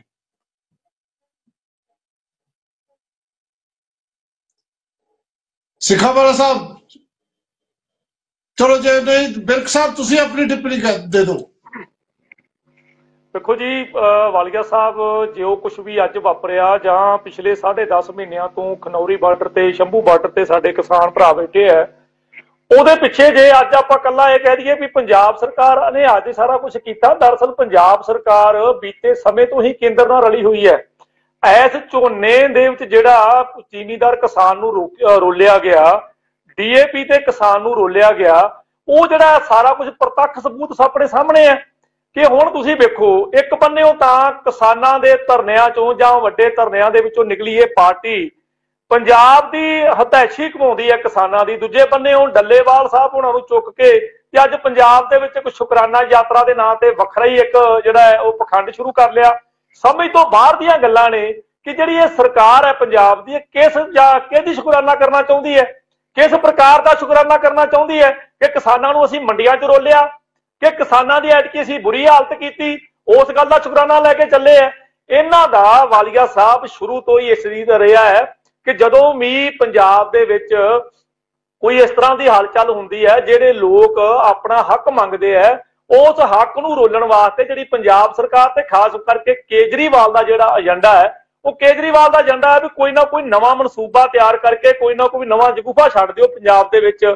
ਆਹ ਜਿਹੜੀ ਯਾਤਰਾ ਵਾਲਾ ਕੰਮ ਸ਼ੁਰੂ ਕਰ ਲਿਆ, ਪਹਿਲਾਂ 2-4 ਦਿਨ ਰੌਲਾ ਪਾ ਲਿਆ ਅਮਨ ਅਰੋੜਾ ਜੀ ਦੇ ਪ੍ਰਧਾਨ ਬਣਨ ਦਾ। ਚਲੋ, ਤੁਹਾਡੀ ਪਾਰਟੀ ਅੱਜ ਨੂੰ ਮਰਜ਼ੀ ਪ੍ਰਧਾਨ ਬਣਾਓ, ਉਸ ਗੱਲ ਨਾਲ ਕਿਸੇ ਦਾ ਤਲੋਕਾਤ ਕੋਈ ਨਹੀਂ। ਪਰ ਜਿਸ ਤਰੀਕੇ ਦੇ ਨਾਲ ਪੰਜਾਬ ਦੇ ਕਿਸਾਨਾਂ ਦੀ ਦੁਰਦਸ਼ਾ ਕੀਤੀ ਗਈ, ਉਹਦਾ ਕਿਸੇ ਕੋਲ ਕੋਈ ਜਵਾਬ ਨਹੀਂ। ਅੱਜ ਡੱਲੇਵਾਲ ਸਾਹਿਬ ਦੇ ਗ੍ਰਿਫਤਾਰੀ ਦੇ ਉੱਤੇ ਕਿਸੇ ਵੀ ਮੁੱਖ ਮੰਤਰੀ ਸਾਹਿਬ ਦਾ ਬਿਆਨ ਉਹਨਾਂ ਦੇ ਸਰਕਾਰ ਦੇ ਕਿਸੇ ਵਜ਼ੀਰ ਦਾ, ਕਿਸੇ ਐਮਐਲਏ ਦਾ ਬਿਆਨ ਕੋਈ ਨਹੀਂ ਆਇਆ। ਇਹਦਾ ਸਾਫ਼ ਜ਼ਾਹਰ ਹੈ ਕਿ ਉਹ ਜਿਹੜੇ ਇਸ ਕਿਸਾਨੀ ਸੰਘਰਸ਼ ਦੇ ਨਾਲ ਨਹੀਂ ਸਗੋਂ ਕਿਸਾਨੀ ਸੰਘਰਸ਼ ਨੂੰ ਵਰਤਣਾ ਚਾਹੁੰਦੇ ਸਨ। ਉਹ ਵਰਤ ਕੇ ਹੁਣ ਉਹ ਆਪ ਹੀ ਕਿਸਾਨੀ ਸੰਘਰਸ਼ ਨੂੰ ਦਬਾਉਣਾ ਚਾਹੁੰਦੇ ਆ ਉਹਨੂੰ ਚੁਕਾਉਣਾ ਚਾਹੁੰਦੇ ਆ ਉਹ ਸਿੱਧੇ ਤੋਂ ਸਿੱਧਾ ਜੋ ਉਹਨਾਂ ਨੂੰ ਬੀਜੇਪੀ ਕਹਿ ਰਹੀ ਹੈ ਜਾਂ ਜੋ ਕੇਜਰੀਵਾਲ ਇਸ਼ਾਰਾ ਕਰ ਰਿਹਾ ਹੈ, ਉਹਨਾਂ ਦਾ ਮਕਸਦ ਇਹ ਹੈ ਕਿ ਕਿਸਾਨਾਂ ਨੂੰ ਪਰੇ ਕਰਕੇ ਸ਼ਹਿਰੀ ਵੋਟ ਜਿਹੜੀ ਹੈ, ਉਹ ਨਗਰ ਨਿਗਮ ਦੀਆਂ ਚੋਣਾਂ ਆ ਗਈਆਂ।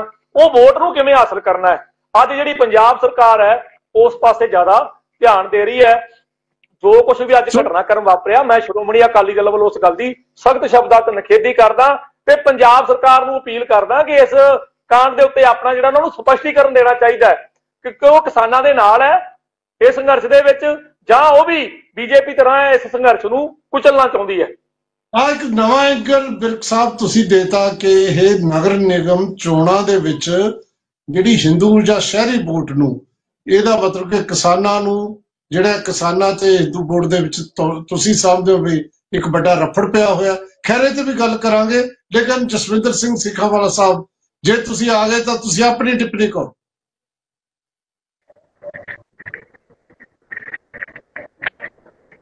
ਜਸਵਿੰਦਰ ਸਿੰਘ ਜੀ, ਸ਼ਾਇਦ ਉਹਨਾਂ ਦੀ ਕੋਈ ਪ੍ਰੋਬਲਮ ਨੈਟ ਦੀ ਹੋਵੇ। ਸ਼ਾਦੀਪੁਰ ਜੀ, ਜਿਹੜੀ ਇਹ ਗੱਲ ਤੁਸੀਂ ਕਹਿ ਰਹੇ ਸੀ ਮੈਂ ਫਿਰ ਤੁਹਾਡੇ ਕੋਲ ਆ ਰਿਹਾ, ਕਿ ਇਹ ਜਿਹੜਾ ਮਸਲਾ ਹੈ, ਜਿਵੇਂ ਇਹਨਾਂ ਨੇ ਕਿਹਾ ਬਿਰਕ ਸਾਹਿਬ ਨੇ, ਕਿ ਜੋ ਬੀਜੇਪੀ ਕਹਿ ਰਹੀ ਹੈ, ਉਵੇਂ ਹੋ ਰਿਹਾ ਹੈ। ਤੁਹਾਨੂੰ ਤੁਸੀਂ ਹੁਣ ਲਗਾਤਾਰ ਸੰਘਰਸ਼ ਦੇ ਵਿੱਚ ਹੋ। ਤੁਹਾਡੇ ਲੱਗ ਕੀ ਰਿਹਾ? ਤੁਹਾਡੀ ਲੜਾਈ ਹੈ ਕਿਹਦੇ ਨਾਲ? ਮਸਲਾ ਕੌਣ ਥੋੜਾ ਸੁਲਝਾਊ? ਮਾਨ ਸਰਕਾਰ ਨੇ ਸੁਲਝਾਉਣਾ ਕੇਂਦਰ ਨੇ ਸੁਲਝਾਉਣਾ ਇਹ ਮਸਲਾ ਜਿਹੜਾ ਹੁਣ ਉਲਝਿਆ ਹੈ, ਇਹਦੇ ਚ ਕਿਹਨੂੰ ਜ਼ਿੰਮੇਵਾਰ ਸਮਝਦੇ ਹੋ? ਦੇਖੋ ਜੀ ਦੋਵੇਂ ਸਰਕਾਰਾਂ ਜ਼ਿੰਮੇਵਾਰ ਨੇ, ਚਾਹੇ ਸਟੇਟ ਸਰਕਾਰ ਹੈ, ਚਾਹੇ ਕੇਂਦਰ ਸਰਕਾਰ ਹੈ। ਕੇਂਦਰ ਸਰਕਾਰ ਤਾਂ ਇਸ ਕਰਕੇ ਜ਼ਿੰਮੇਵਾਰ ਆ ਕਿ ਕਿੰਨਾ ਸਮਾਂ ਹੋ ਗਿਆ ਉੱਥੋਂ ਆਇਆ ਨੂੰ ਦਿੱਲੀ ਤੋਂ। ਤੇ ਸਾਨੂੰ ਉਹਨਾਂ ਨੇ ਰਿਟਰਨ ਚ ਦੇਤਾ ਵੀ ਆ ਤੁਹਾਡੀਆਂ ਮੰਗਾਂ ਮੰਨ ਇਹ ਅਸੀਂ ਲਾਗੂ ਕਰ ਦੇਵਾਂਗੇ। ਔਰ ਉਸ ਤੋਂ ਬਾਅਦ ਸਰਕਾਰ ਨੇ ਕੁਝ ਵੀ ਨਹੀਂ ਕਰਿਆ। ਜਦੋਂ ਕੁਝ ਨਹੀਂ ਕਰਿਆ ਸੀ ਇਸੇ ਕਰਕੇ ਮੋਤਰ ਕਰਕੇ ਆਇਆ ਸੀ ਉਹ ਮੋਰਚਾ ਜਿਹੜਾ ਸੀ, ਵੀ ਸਾਨੂੰ ਦੁਬਾਰੇ ਖੋਲਣਾ ਪੈ ਸਕਦਾ। ਤੇ ਉਹਦੇ ਅਧੀਨ ਹੀ ਇਹ ਚੱਲੇ ਸਨ ਜਿਹੜੇ ਬਾਕੀ ਸੀਗੇ, ਆਪਣਾ ਇਹ ਪਧੇਰ ਗਰੁੱਪ ਤੇ ਡੱਲੇਵਾਲ ਜੀ ਵੀ ਤਾਂ ਹੀ ਦਿੱਲੀ ਚੱਲੇ ਸਨ ਕਿ ਸਰਕਾਰ ਸਾਡੀਆਂ ਮੰਗਾਂ ਲਾਗੂ ਨਹੀਂ ਕਰਦੀ, ਮੰਨੀਆਂ ਹੋਈਆਂ। ਅਸੀਂ ਦਿੱਲੀ ਜਾ ਰਹੇ ਹਾਂ ਮੋਰਚਾ ਲਾਉਣ ਵਾਸਤੇ ਫਿਰ। ਹੁਣ ਜਿਹੜੀ ਪੰਜਾਬ ਸਰਕਾਰ ਆ, ਪੰਜਾਬ ਸਰਕਾਰ ਵੀ ਉਹਦੇ ਚ ਦੋਸ਼ੀ ਹੈ, ਬਹੁਤ ਵੱਡੇ ਪੱਧਰ ਦੇ ਉੱਤੇ। ਪੰਜਾਬ ਸਰਕਾਰ ਦਾ ਮੈਂ ਪਹਿਲਾਂ ਵੀ ਕਹਿ ਰਿਹਾ ਕਿ ਰੋਲ ਬਣਦਾ ਸੀਗਾ, ਜਿਹੜਾ ਬਣਦਾ ਰੋਲ ਅਦਾ ਕਰਨਾ ਚਾਹੀਦਾ ਸੀ ਉਹ ਪੰਜਾਬ ਸਰਕਾਰ ਨੇ। ਨਹੀਂ ਕੀਤਾ। ਸਗੋਂ ਉਲਟਾ ਡੱਲੇਵਾਲ ਨੂੰ ਡਿਟੇਨ ਕਰਕੇ ਜਾ ਕੇ ਹਸਪੀਟਲ 'ਚ ਛੱਡਤਾ। ਹੁਣ ਕੱਲ ਨੂੰ ਪਤਾ ਨਹੀਂ ਜੇਲ੍ਹ ਲੈ ਜਾਣਗੇ ਉਹਨਾਂ ਨੂੰ। ਇਸ ਕਰਕੇ ਇਹ ਗਲਤੀ ਪੰਜਾਬ ਸਰਕਾਰ ਦੀ ਹੈ ਕੇਂਦਰ ਸਰਕਾਰ ਦੀ ਵੱਡੀ ਗਲਤੀ ਇਹ ਆ ਕਿ ਕੇਂਦਰ ਸਰਕਾਰ ਮੰਗਾਂ ਜਿਹੜੀਆਂ ਸਾਡੀਆਂ ਮੰਨੀਆਂ ਉਹਨਾਂ ਨੂੰ ਲਾਗੂ ਨਹੀਂ ਕਰਨਾ ਚਾਹੁੰਦੀ ਅਲਝਾਉਣਾ ਚਾਹੁੰਦੀ ਹੈ। ਜਿਵੇਂ ਉਹਨੇ ਕਹਿ ਰਹੇ ਸੀ ਵਿਰਕ ਸਾਹਿਬ ਸਾਹਿਬ ਜਿਹੜਾ ਉਹਨੇ ਕਹਿ ਰਿਹਾ ਸੀ। ਸ਼ਾਦੀਪੁਰ ਜੀ। ਸ਼ਾਦੀਪੁਰ ਜੀ। ਸਵਾਲ ਬਹੁਤ ਜ਼ਰੂਰੀ ਹੈ ਕਿ ਤੁਹਾਡੀਆਂ। ਬਾਕੀ ਜਥੇਬੰਦੀਆਂ ਕਿਉਂਕਿ ਤੁਹਾਡੇ ਚ ਬਹੁਤ। ਕੋਈ ਇਕਤਾ ਨਜ਼ਰ ਨਹੀਂ ਆਉਂਦਾ ਤੁਹਾਡੀ ਜਥੇਬੰਦੀ ਵੀ ਇਹ ਤੁਸੀਂ ਹੁਣ ਕਿਹਦੇ ਨਾਲ ਬਾਕੀ ਜਥੇਬੰਦੀਆਂ ਇਸ ਮੌਕੇ ਕੀ ਉਹਨਾਂ ਦੀ ਐਕਸ਼ਨ ਹੋਏਗਾ ਕਿਸ ਤਰ੍ਹਾਂ ਦੇਖਣਗੀਆਂ ਜਾਂ ਦੇਖ ਰਹੀਆਂ ਨੇ ਦੇਖੋ ਜੀ ਜਦੋਂ ਇਹ ਅੰਦੋਲਨ ਸ਼ੁਰੂ ਹੋਇਆ ਉਦੋਂ ਅਸੀਂ ਤਿੰਨ ਕਮੇਟੀਆਂ ਬਣਾਈਆਂ ਸੀ ਉਦੋਂ ਰਾਜੇਵਾਲ ਵੀ ਐਸਪੀਐਮ ਤੋਂ ਬਾਹਰ ਸੀਗਾ ਪੰਡੇਰੂ ਵੀ ਪਹਿਲੋਂ ਹੀ ਬਾਹਰ ਸੀਗੇ। ਜੱਲੇਵਾਲ ਨੂੰ ਵੀ ਸਾਡੇ ਨਾਲ ਸਨ ਐਸਪੀਐਮ ਦੇ ਵਿੱਚ। ਤੇ ਥੋੜਾ ਜਿਹਾ ਆਪਸੀ ਫ਼ਰਕ ਪੈਣ ਕਰਕੇ ਜਦੋਂ ਦਿੱਲੀ ਤੋਂ ਆਏ ਆ, ਰਾਜੇਵਾਲ ਤੇ ਡੱਲੇਵਾਲ ਜੀ ਦਾ ਐਜਾ ਤੇ ਇਹ ਲੱਗ ਹੋ ਗਈ ਅਸੀਂ ਕਮੇਟੀਆਂ ਬਣਾਈਆਂ ਸੀਗੀਆਂ ਤਿੰਨ। ਰਾਜੇਵਾਲ ਤਾਂ ਵਿੱਚ ਆ ਗਿਆ ਕਮੇਟੀ ਦੀ ਮੀਟਿੰਗ ਹੋ ਗਈ। ਡੱਲੇਵਾਲ ਜੀ ਉਹਨਾਂ ਨਾਲ ਮੇਰੀ ਜ਼ਿੰਮੇਵਾਰੀ ਸੀ, ਕੋਈ ਮੇਰੇ ਨਾਲ ਤਿੰਨ ਸਾਥੀ ਮੇਰੇ ਹੋਰ ਸੀਗੇ। ਇਹਨਾਂ ਨਾਲ ਗੱਲ ਕਰਨ ਦਾ ਯਤਨ ਵੀ ਬੜੀ ਵਾਰ ਕੀਤਾ, ਪਰ ਸਮਾਂ ਨਾ ਮਿਲ ਸਕਿਆ। ਤੇ ਕਹਿਣ ਲੱਗੇ ਸੀ ਬੀਜੀ ਆ ਬੜੀ ਕੋਸ਼ਿਸ਼ ਕੀਤੀ ਅੱਧੋ ਵੱਧ ਵੀ ਆਪਾਂ ਬਹਿ ਕੇ ਸਾਰਿਆਂ ਨੂੰ ਇਕੱਠਿਆਂ ਕਰਕੇ ਫੇਰ ਦਿੱਲੀ ਵੱਲ ਨੂੰ ਆਪਾਂ ਵਾਰ ਕਰਨਾ ਕਿੱਥੇ ਹੋਵਾਂਗੇ ਤੇ ਜਿੱਤਾਂਗੇ ਹੁਣ ਵੀ ਅਸੀਂ ਇਹ ਯਤਨ ਕਰ ਰਹੇ ਹਾਂ ਅੱਜ ਤੋਂ 20 ਦਿਨ ਪਹਿਲਾਂ ਜਿਹੜੇ ਅਹ, ਗਰੁੱਪ ਸ਼ੰਭੂ ਬਾਰਡਰ ਤੇ ਬੈਠਾ ਹੈ ਜਿਹੜੀ ਉਹਨਾਂ ਨਾਲ ਮੀਟਿੰਗ ਹੋਈ ਸੀ ਉਹਦੇ ਵਿੱਚ ਵੀ ਮੈਂ ਆਪਣੇ ਐਸਐਮ ਦੇ ਵਿੱਚ ਗੱਲ ਚਲਾਈ ਬਈ ਹੁਣ ਉਹ ਨਾ ਲੱਗਣਾ ਚਾਹੁੰਦੇ ਨੇ ਆਪਾਂ ਕੋਸ਼ਿਸ਼ ਕਰਕੇ ਸਾਰਿਆਂ ਨੂੰ ਫਿਰ ਇੱਕ ਜਗ੍ਹਾ ਤੇ ਬੈਠੀਏ ਇਕੱਠੇ ਹੋ ਕੇ ਫਿਰ ਲੜਾਈ ਲੜੀਏ ਔਰ ਉਹ ਗੱਲ ਜੇ ਸਿਰੇ ਚੜੀ ਨਹੀਂ ਸੀ ਸੀਜ਼ਨ ਆ ਗਿਆ। ਇੱਕ ਇੱਕ ਕਿ? ਸ਼ਾਦੀਪੁਰ ਧੰਨਵਾਦ ਜੀ। ਸ਼ਾਦੀਪੁਰ ਜੀ। ਸ਼ਾਦੀਪੁਰ ਸਾਹਿਬ। ਬਾਲੀਆ ਸਾਹਿਬ ਇੱਕ ਮਿੰਟ। ਇੱਕ ਮਿੰਟ ਬਾ- ਬਾਲੀਆ। ਹੁਣ ਬਾਲੀਆ ਸਾਹਿਬ ਇੱਕ ਮਿੰਟ। ਬਾਲੀਆ ਸਾਹਿਬ ਇੱਕ ਮਿੰਟ। ਉਹ ਅੰਦੋਲਨ ਸ਼ਾ- ਸ਼ੁਰੂ ਹੋ ਗਿਆ ਸੀਜ਼ਨ। ਸਾਡੀ ਗੱਲ ਤਾਂ ਨਾ ਸਿਰੇ ਚੜ ਸਕੀ ਪੰਜਾਬ ਸਰਕਾਰ ਨੇ ਕਿਸਾਨਾਂ ਦੀ ਉਹ ਹਾਲਤ ਕਰ ਦਿੱਤੀ ਮੰਡੀਆਂ ਦੇ ਵਿੱਚ ਜਿਹੜੀ ਅੱਜ ਤੱਕ ਕਦੀ ਹੋਈ ਨਹੀਂ। ਹੋਰ ਕਿਸੇ ਪਾਸੇ ਹੋਇਆ ਨਹੀਂ ਗਿਆ। ਪੰਜਾਬ ਸਰਕਾਰ ਨੇ ਬਹੁਤ ਵੱਡੀਆਂ ਗਲਤੀਆਂ ਕੀਤੀਆਂ ਨੇ। ਹੁਣ ਇਹ ਜਿਹੜੀ ਗੱਲ ਆ ਇਹ ਸਾਰੀ ਦੀ ਸਾਰੀ ਪੰਜਾਬ ਸਰਕਾਰ ਦੇ ਗੱਲ ਪੈ ਗਈ ਤੇ ਇਹ ਗਲੋਂ ਕਿਵੇਂ ਲੈਂਦੀ ਹੈ ਕਿਵੇਂ ਨਹੀਂ ਲੈਂਦੀ ਤੇ ਸੋਚ ਵਿਚਾਰ ਤੋਂ ਕੰਮ ਨਹੀਂ ਲੈਂਦੇ। ਤੇ ਮੈਨੂੰ ਐ ਲੱਗਦਾ ਵੀ ਹਿੱਕ ਦੇ ਧੱਕੇ ਨਾਲ ਇੱਕ ਦੇ ਜ਼ੋਰ ਦੇ ਨਾਲ ਕਿਸਾਨ ਅੰਦੋਲਨ ਨੂੰ ਦਬਾਉਣਾ ਚਾਹੁੰਦੇ ਨੇ। ਉਹ ਕਦੀ ਵੀ ਨਾ ਦਬਿਆ ਹੈ, ਨਾ ਦਵੇਗਾ। ਐਸਪੀਐਮ ਨੂੰ ਜਲਦੀ ਹੀ ਆਪਣੀ ਮੀਟਿੰਗ ਕਰਕੇ ਅਸੀਂ ਇਸ ਫੈਸਲੇ ਨੂੰ ਹਮਾਇਤ ਕਰਾਂਗੇ ਔਰ ਡਟ ਕੇ ਲੜਾਂਗੇ ਇਕੱਠੇ ਹੋ ਕੇ। ਹਾਂ, ਮੈਂ ਇਹੀ ਪੁੱਛਣਾ ਚਾਹੁੰਦਾ ਸੀ। ਮੈਂ ਇੱਕ ਸਵਾਲ ਛੋਟਾ ਜਿਹਾ, ਬਰੀਫ ਜਿਹਾ ਜਵਾਬ। ਸਤਪਾਲ ਸਿੰਘ ਸਿੱਧੂ ਸਾਹਿਬ ਦਾ ਇਹ ਮੰਨਣਾ ਹੈ ਕਿ ਸੁਖਜੀਤ ਸਿੰਘ ਹਰਦੋ ਝੰਡੇ, ਜਿਹੜੇ ਇੱਥੇ ਹੁਣ ਮਰਨ ਵਰਤ ਤੇ ਬੈਠੇ ਨੇ, ਉਹਨਾਂ ਤੇ ਜ਼ਿਆਦਾ ਅਸਰ ਨਹੀਂ ਪੈਣਾ ਜਿੰਨਾ ਪਹਿਲਾਂ ਪੈਣਾ ਸੀ ਜੇ ਡੱਲੇਵਾਲ ਸਾਹਿਬ ਇੱਥੇ ਹੁੰਦੇ। ਤੇ ਇਹ ਮਰਨ ਵਰਤ ਨੂੰ ਤੁਸੀਂ ਕਿਵੇਂ ਦੇਖਦੇ ਹੋ? ਸੁਖਜੀਤ ਸਿੰਘ ਦੇ ਮਰਨ ਵਰਤ ਨੂੰ। ਦੇਖੋ ਜੀ ਵਾਲੀਆ ਸਾਹਿਬ ਜਿਹੜਾ ਮਰਦ ਵਰਤ ਤੇ ਬੈਠ ਗਿਆ ਜਥੇਬੰਦੀ ਦੇ ਵਿੱਚੋਂ ਉੱਠ ਕੇ ਕੋਈ ਵੀ ਆਗੂ ਉਹਦਾ ਅਸਰ ਤਾਂ ਪੂਰਾ ਹੀ ਹੈ। ਇਹ ਗੱਲ ਠੀਕ ਹੈ ਸਿੱਧੂ ਸਾਹਿਬ ਦੀ ਵੀ ਜਿਹੜਾ ਕਿ ਕੱਦ ਵੱਡਾ ਹੁੰਦਾ, ਕੱਦ ਉੱਚਾ ਕੱਦ ਜਥੇਬੰਦੀ ਦੇ ਅੰਦਰ ਹੈ ਪਾਰਟੀ ਦੇ ਅੰਦਰ ਹੈ।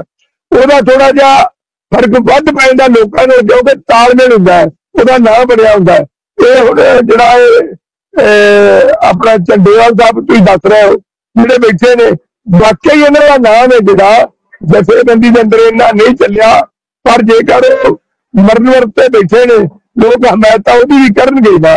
ਅਸੀਂ ਵੀ ਕਰ ਰਹੇ ਹਾਂ ਹਮਾਇਤ ਵੀ ਬੈਠੇ ਨੇ ਤੇ ਲੋਕਾਂ ਨੂੰ ਇਕੱਠਿਆ ਹੋ ਕੇ ਤਗੜਾ ਹੋ ਕੇ ਡਟ ਕੇ ਨਾਲ ਖੜਨਾ ਚਾਹੀਦਾ ਕਿ ਇਹ ਸਿੱਧੂ ਸਾਹਿਬ ਦੀ ਗੱਲ ਜ਼ਰੂਰ ਸਹੀ ਹੈ ਕਿ ਜਿਹੜਾ ਕੱਦ ਵੱਡਾ ਹੈ ਜਿਹੜਾ ਪੁਰਾਣਾ ਆਗੂ ਹੈ ਅੱਗੇ ਲੱਗ ਕੇ ਬਹੁਤ ਦੇਰ ਤੋਂ ਲੜਾਈ ਲੜ ਰਿਹਾ ਉਹਦਾ ਫ਼ਰਕ ਜ਼ਰੂਰ ਹੁੰਦਾ। ਜੀ ਬਿਲਕੁਲ ਫ਼ਰਕ ਹੁੰਦਾ ਪਰ। ਜਿਹੜੀ ਕਿਸਾਨੀ ਸੰਘਰਸ਼ ਤੇ ਜਿਹੜੀ ਸ਼ਹਾਦਤ ਹੁੰਦੀ ਹੈ, ਉਹਦਾ ਵੀ ਇੱਕ ਉੱਡੇ ਕੀ ਅਸਰ ਹੁੰਦਾ ਮੈਂ ਦੇਖ ਰਿਹਾ ਸੀ, ਵੱਡੀ ਗਿਣਤੀ ਚ ਕਿਸਾਨ ਅੱਜ ਜਦੋਂ ਮਾਰਚ ਕਰ ਰਹੇ ਸੀ, ਜਦੋਂ ਉਹਨਾਂ ਨੇ ਵਰਤ ਰੱਖਣਾ ਸੀ, ਉਹ ਬਹੁਤ ਹੀ ਕਿਸਾਨਾਂ ਚ ਜਿਹੜੀ ਬੇਚੈਨੀ ਉਹ ਨਜ਼ਰ ਆਈ ਹੈ। ਹਾਂ, ਇਹ ਗੱਲ ਸਿੱਧੂ ਸਾਹਿਬ ਦੀ ਠੀਕ ਹੈ ਕਿ ਜੇ ਡੱਲੇਵਾਲ ਸਾਹਿਬ ਹੁੰਦੇ, ਹੁਣ ਡੱਲੇਵਾਲ ਸਾਹਿਬ ਦੀ ਐਗਜ਼ੈਕਟ ਪੋਜੀਸ਼ਨ ਕਿਸੇ ਨੂੰ ਨਹੀਂ ਪਤਾ ਸਟੇਟਸ ਕੀ ਹੈ। ਇੱਕ ਕਿਸਾਨ ਜਿਹੜਾ ਜਨਰਲ ਸਕੱਤਰ ਹੈ ਸੂਬੇ ਦਾ, ਉਹਦੇ ਕਹਿਣ ਤੇ ਅਸੀਂ ਤੁਹਾਨੂੰ ਕਹਿ ਰਹੇ ਹਾਂ ਕਿ ਡੱਲੇਵਾਲ ਸਾਹਿਬ ਨੇ ਹਸਪਤਾਲ 'ਚ ਵਰਤ ਰੱਖ ਲਿਆ। ਹੋਰ ਕੋਈ ਸੋਰਸ ਨਹੀਂ, ਕਿਸਾਨਾਂ ਨੇ ਕਿਹਾ।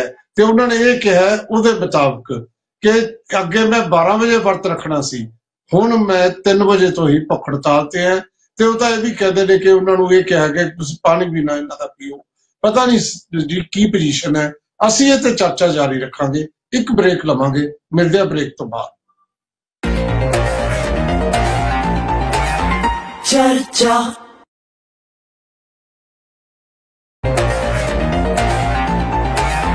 चर्चा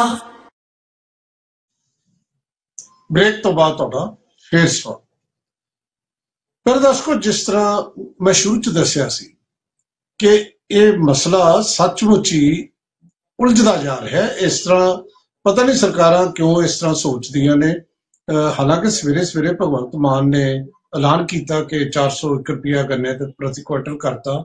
ਔਰ ਮੈਂ ਉਦੋਂ ਇਹ ਵੀ ਕਿਹਾ ਸੀ ਕਿ ਤੁਸੀਂ ਠੀਕ ਹੈ, ਚਲੋ 10 ਰੁਪਏ ਵਧਾ ਤੇ ਤੁਸੀਂ ਅਦਾਇਗੀ ਦੀ ਵੀ ਗੱਲ ਕਰੋ ਵੀ ਟਾਈਮ ਸਿਰ ਅਦਾਇਗੀ ਹੋਊਗੀ।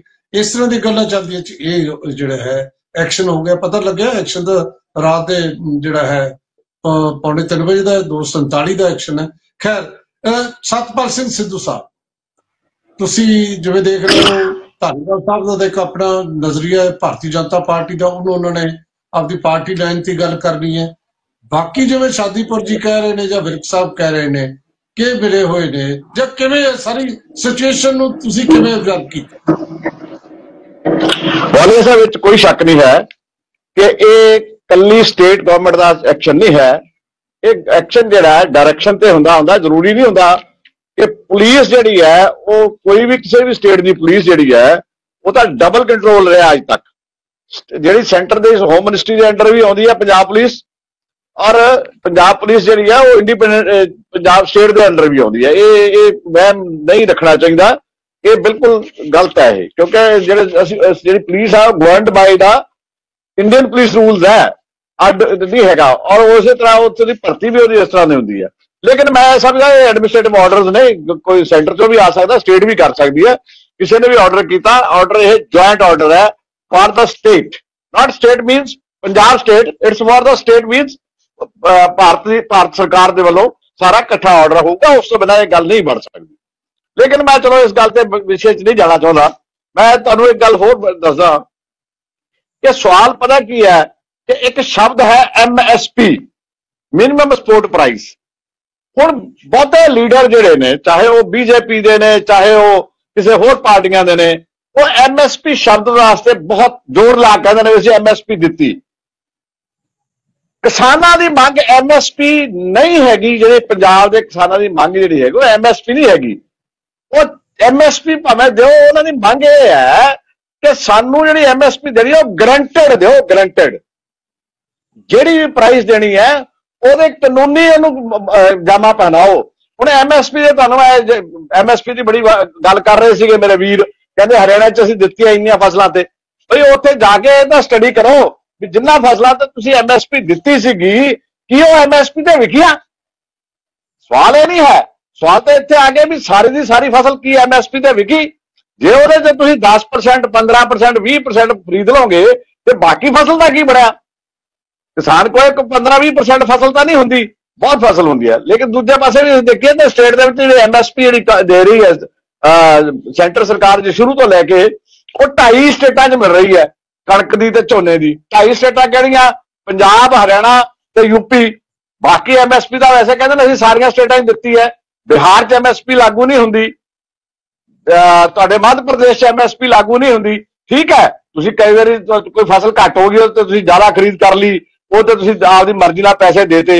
ਦੈਟ ਉਹ ਵੱਖਰੀ ਕਹਾਣੀ ਹੈ। ਲੇਕਿਨ ਇਹ ਤਾਂ ਨਾ ਵੀ ਹਰ ਵਾਰੀ ਯਕੀਨਾਂ ਨਾਲ ਉਹੀ ਮਿਲੂਗਾ।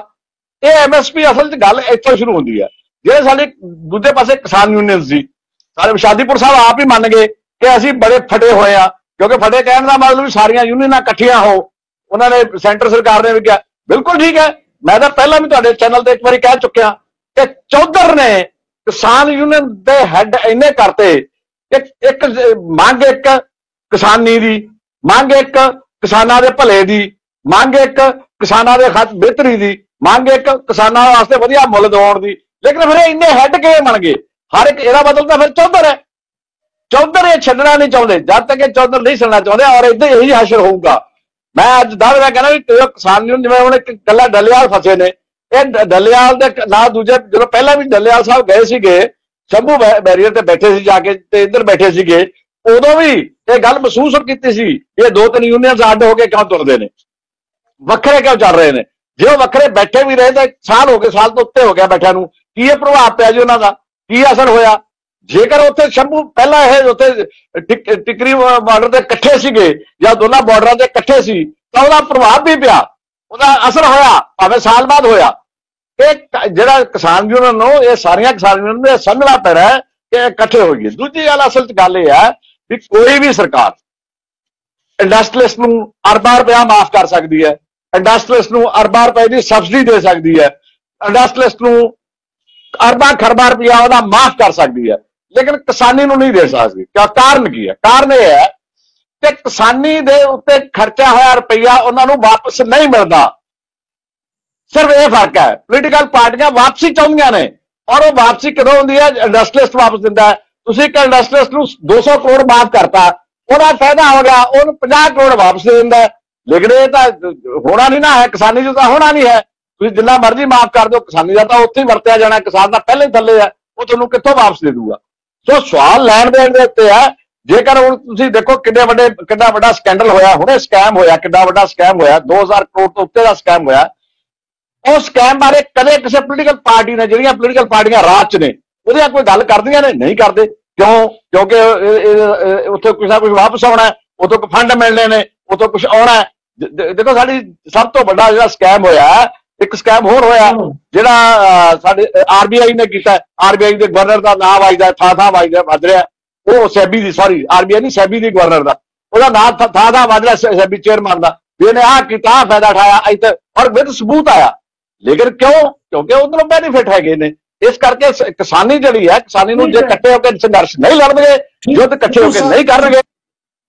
ਸਿੱਧੂ ਸਾਹਿਬ ਜਿਹੜਾ ਤੁਹਾਡਾ ਨਹੀਂ ਹੁਣ ਕਿਉਂਕਿ ਮੈਂ ਲਾਸਟ ਗੇਟ 'ਚ ਸਿੱਧੂ ਸਾਹਿਬ ਲੇਕਿਨ ਇੱਕ ਗੱਲ ਇਹ ਹੈ ਜਿਹੜਾ ਤੁਸੀਂ ਜਿਹੜਾ ਨੁਕਤਾ ਦੁਬਾਰਾ ਉਠਾਇਆ ਪਹਿਲਾਂ ਵੀ ਕਈ ਵਾਰ ਗੱਲ ਕੀਤੀ ਹੈ ਕਿ ਇਹਨਾਂ ਦੀ ਏਕਤਾ ਨਹੀਂ ਹੈ। ਕਿਸਾਨ ਜੇ ਇੱਕ ਹੁੰਦੇ ਤਾਂ ਅਸਰ ਪੈਂਦਾ। ਤੁਹਾਡੀ ਗੱਲ ਬਿਲਕੁਲ ਸਹੀ ਹੈ। ਏਕੇ 'ਚ ਬਰਕਤ ਹੁੰਦੀ ਆ ਆਪਾਂ ਤਾਂ ਬਚਪਨ 'ਚ, ਸਕੂਲਾਂ 'ਚ ਬੱਚਿਆਂ ਨੂੰ ਪੜਾਉਣੇ ਆ। ਪਤਾ ਨਹੀਂ ਇਹ ਆ ਜਿਹੜੀ ਚੌਧਰ ਵਾਲੀ ਗੱਲ ਤੁਸੀਂ ਕੀਤੀ ਹੈ, ਇਹੀ ਤਾਂ ਰਵਨੀਤ ਬਿੱਟੂ ਨੇ ਕਿਹਾ, ਕਹਿੰਦੇ ਕਿਸਾਨ ਤਾਂ ਲੀਡਰ ਕਰੋੜਾਂ ਨੇ, ਅਸੀਂ ਜਾਂਚ ਕਰਾਵਾਂਗੇ। ਇਹੋ ਜਿਹੇ ਮਸਲੇ ਖੜੇ ਕੀਤੇ ਨੇ ਕਿ ਕਿਸਾਨ ਆਪਸ 'ਚ ਉਲਝ ਜਾਣ। ਇਹ ਵੀ ਗੱਲ ਚੱਲੀ ਹੈ, ਵੱਡਾ ਕਿਸਾਨ ਤੇ ਛੋਟਾ ਕਿਸਾਨ। ਤੇ ਜਦੋਂ ਕਿਸਾਨਾਂ 'ਚ ਏਕਾ ਨਹੀਂ ਹੋਊਗਾ, ਸਰਕਾਰਾਂ ਇਸ ਤਰੀਕੇ ਨਾਲ ਦਬਾਉਣ ਦੀ ਕੋਸ਼ਿਸ਼ ਕਰਨਗੀਆਂ। ਸ਼ਾਦੀਪੁਰ ਸਾਹਿਬ ਛੋਟੀ ਛੋਟੀ ਜਿਹੀ ਟਿੱਪਣੀ, ਫਿਰ ਮੈਂ ਧਾਲੀਵਾਲ ਸਾਹਿਬ ਕੋਲ ਜਾਣਾ। ਦੇਖੋ ਜੀ, ਏਕਤਾ ਬੜੀ ਜ਼ਰੂਰੀ ਹੈ, ਜਿਹੜੀ ਇਹਨਾਂ ਨੇ ਗੱਲ ਕੀਤੀ ਹੈ ਨਾ ਇਹ ਮੈਂ ਤੁਹਾਨੂੰ ਡੇਢ ਕੁ ਮਿੰਟ ਦੇ ਵਿੱਚ ਦੋ ਦੇ ਪੂਰੀ ਕਰ ਦੂੰਗਾ। ਜਦੋਂ 2020 ਦੇ ਵਿੱਚ ਅੰਦੋਲਨ ਸ਼ੁਰੂ ਹੋਣਾ ਸੀ, ਉਦੋਂ ਵੀ ਮੈਂ ਬੜਾ ਯਤਨ ਕੀਤਾ ਇਕੱਠਿਆਂ ਕਰਨ ਦਾ। ਇਹ ਵਾਕਿਆ ਹੀ ਵੱਡੇ ਆਗੂ ਇਕੱਠੇ ਨਹੀਂ ਹੁੰਦੇ। 4 ਅਗਸਤ 2020 ਨੂੰ ਮੈਂ ਆਪਣੇ ਇੱਥੇ ਪੁੰਨਰੇੜੀ, ਸਾਡਾ ਕਸਬਾ ਇੱਥੋਂ ਚੱਲਿਆ ਸੀ 50 60 ਬੰਦੇ ਲੈ ਕੇ। ਇਕੱਠਿਆਂ ਕਰਨ ਵਾਸਤੇ ਇਹਨਾਂ ਨੂੰ ਵੀ ਇਕੱਠੇ ਹੋ ਕੇ ਲੜਾਈ ਲੜੀਏ। ਵਰਨਾ ਲੜੀ ਨਹੀਂ ਜਾਣੀ ਤਾਕਤਵਰ ਸਰਕਾਰ ਦੇ ਨਾਲ। ਤੇ ਮੇਰੇ ਨਾਲ ਸਹਿਯੋਗ ਕਰ ਰਿਹਾ ਸੀ ਜਿਹੜਾ ਹਰਜਿੰਦਰ ਲਾਲ ਨੇ ਥੱਲੇ ਵਾਲੇ ਪੱਤਰਕਾਰ ਅਜੀਤ ਅਖਬਾਰ ਦੇ। ਉਹ ਮੇਰੇ ਨਾਲ ਸਹਿਯੋਗ ਕਰ ਰਹੇ ਸੀ ਇਹਦੇ ਵਿੱਚ। ਉਹ ਵੀ ਕਹਿੰਦੇ ਨੇ ਤੁਸੀਂ ਚਲੋ ਜ਼ੋਰ ਲਾ ਕੇ ਦੇਖ ਲਓ, ਪਰ ਕਾਨੂੰਨ ਵਾਪਸ ਨਹੀਂ ਹੋਣੇ ਜਤਨ ਜ਼ਰੂਰ ਕਰੋ ਜੇ ਇਕੱਠੇ ਹੋ ਜਾਓ। ਮੈਂ ਲੱਖੋਵਾਲ ਨੂੰ ਮਿਲਿਆ 4 ਅਗਸਤ ਨੂੰ। ਉਹਨਾਂ ਨੇ ਸਹਿਮਤੀ ਦਿੱਤੀ ਜਾਣ ਸਰ ਮੈਂ ਰਾਜਪਾਲ ਸਾਹਿਬ ਨੂੰ ਫੋਨ ਕੀਤਾ। ਉਹਨਾਂ ਨੂੰ ਆਂਦੇ, ਕੰਮ ਦੱਸ ਦੇ ਮੈਂ ਬਾਹਰ ਆ। ਮੈਂ ਕਿਹਾ ਜੀ, ਆਹ ਗੱਲ ਇਹ ਕੰਮ ਤਾਂ ਕੋਈ ਹੋਰ ਹੈ ਨਹੀਂ। ਉਹ ਕਹਿੰਦੇ, ਹੋ ਨਹੀਂ ਸਕਦਾ ਇਹ। ਇਹ ਕਿਵੇਂ ਹੋ ਜੂਗਾ ਕਹਿੰਦੇ? ਤੂੰ ਕਮਲਾ ਹੋਇਆ ਹੀ ਨਹੀਂ, ਦੁਨੀਆ ਇਕੱਠੀ ਕਿਵੇਂ ਕਰ ਲੇਗਾ? ਮੈਂ ਕਿਹਾ ਜੀ, ਮੇਰੀ ਇੱਕ ਕੋਸ਼ਿਸ਼ ਹੈ, ਇਕੱਠੇ ਕਰਕੇ ਸਾਰਿਆਂ ਨੂੰ ਇੱਕ ਮੰਚ ਤੇ ਲੜਾਈ ਲੜੀਏ। ਬੇਸ਼ੱਕ ਫੱਟੇ ਆਪਣੇ ਰੱਖ ਲਿਆ ਜੇ, ਪਰ ਲੜਾਈ ਇਕੱਠੇ ਹੋ ਕੇ ਲੜੀਏ। ਚਲੋ, ਖਬਰ ਮੈਂ ਇੱਥੋਂ ਲਵਾ ਕੇ ਗਿਆ ਸੀ। ਉੱਥੋਂ ਉਹਨਾਂ ਨੇ ਭੇਜ ਦਿੱਤੀ, ਲਖਵਾਲ ਜੀ ਉਹਨਾਂ ਨੇ।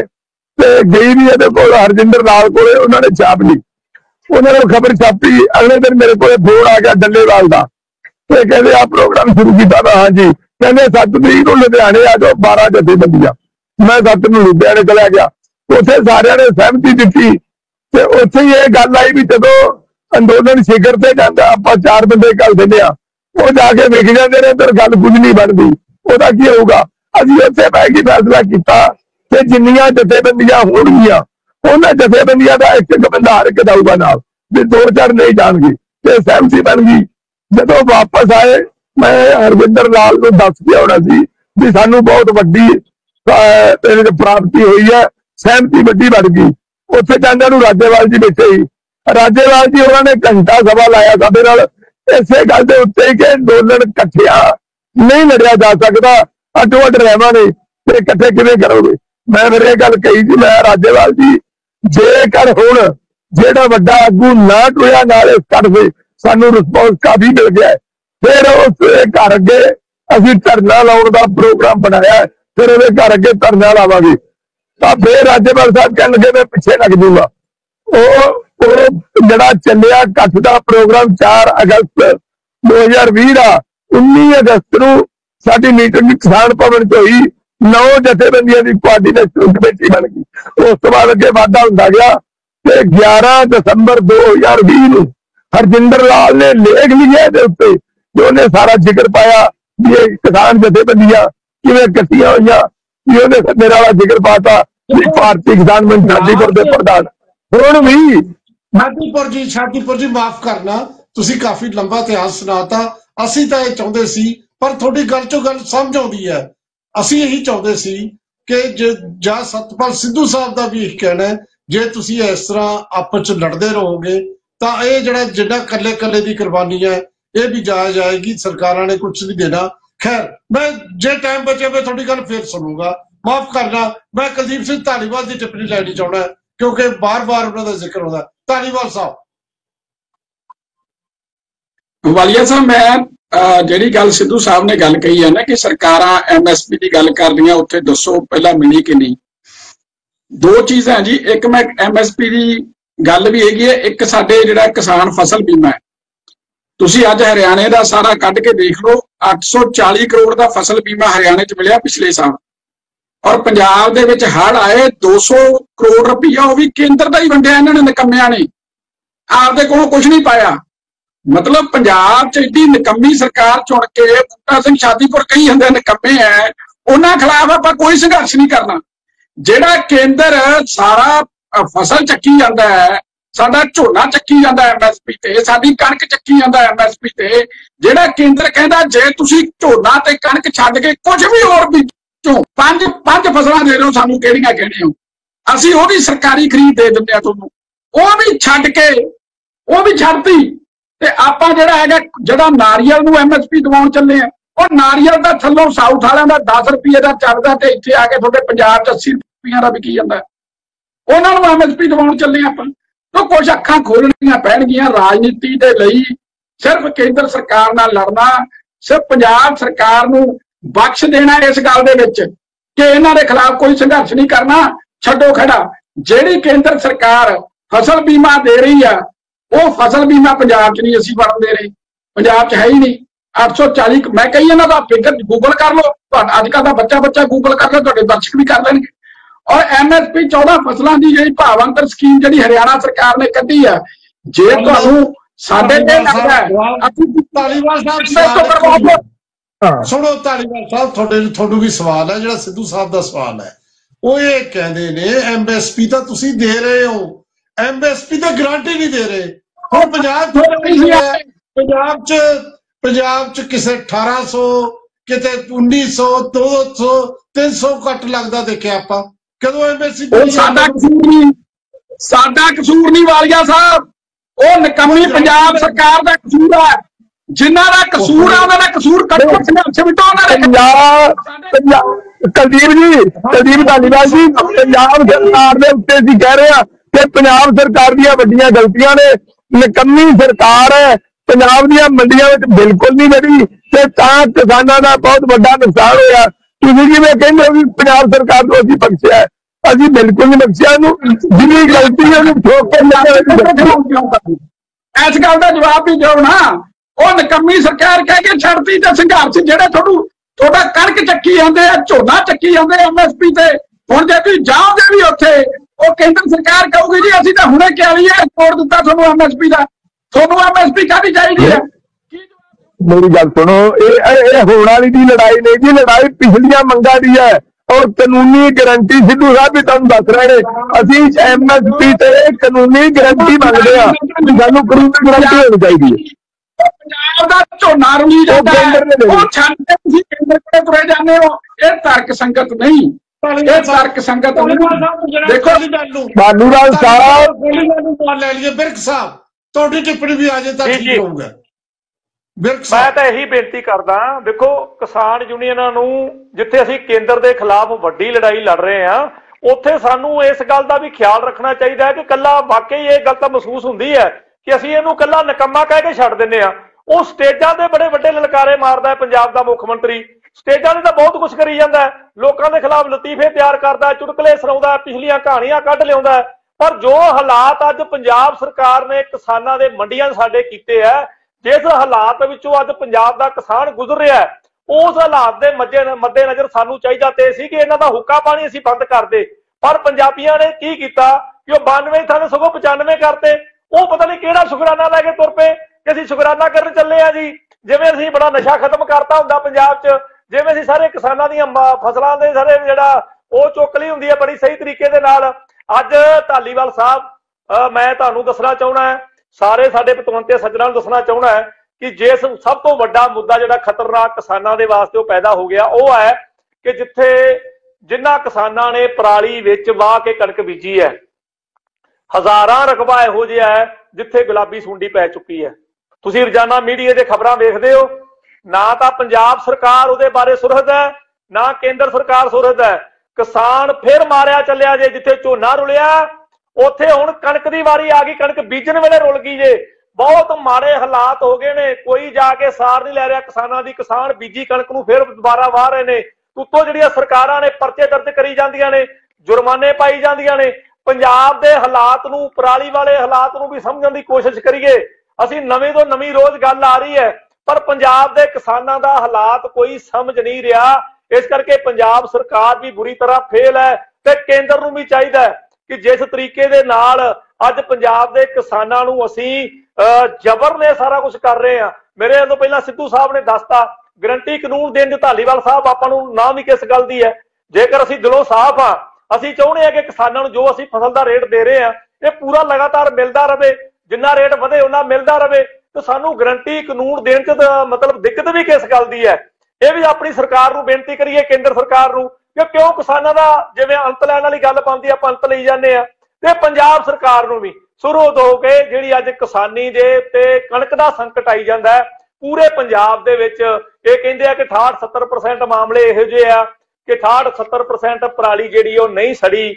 ਬਿਨਾ ਪਰਾਲੀ ਸਾੜਨ ਤੋਂ ਕਿਸਾਨਾਂ ਨੇ ਕਣਕ ਬੀਜੀ ਹੈ ਪਰ ਸਭ ਤੋਂ ਬਿਰਕ ਸਾਹਿਬ ਜੇ ਆਪਾਂ ਮਸਲਿਆਂ ਦੀ ਗੱਲ ਕਰਾਂਗੇ ਤੁਸੀਂ ਜਿਵੇਂ ਪ੍ਰਾਣੀ ਦੀ ਗੱਲ ਕੀਤੀ ਹੈ ਬਹੁਤ ਮਸਲੇ ਨੇ ਲੇਕਿਨ ਅੱਜ ਤਾਂ ਸਾਡੇ ਕੋਲ ਜਿਹੜਾ ਹੁਣ ਮੌਜੂਦਾ ਇਸ ਜਿਹੜਾ ਹੁਣ ਸੰਕਟ ਨਵਾਂ ਸੰਕਟ ਜਿਹੜਾ ਪੈਦਾ ਹੋ ਰਿਹਾ ਹੈ ਗੱਲ ਤਾਂ ਉਹਦੀ ਕਰ ਰਹੇ ਆ ਮੈਂ ਸਿੱਧੂ ਸਾਹਿਬ ਤੁਹਾਡਾ ਇਸ਼ਾਰਾ ਵੀ ਦੇਖ ਲਿਆ ਵੈਸੇ ਵੀ ਮੈਂ ਤੁਹਾਡੇ ਕੋਲ ਆਉਣਾ ਸੀ ਤੁਹਾਡੀ ਹੁਣ ਤੁਸੀਂ ਆਪਣੀ ਗੱਲ ਕਰ ਸਕਦੇ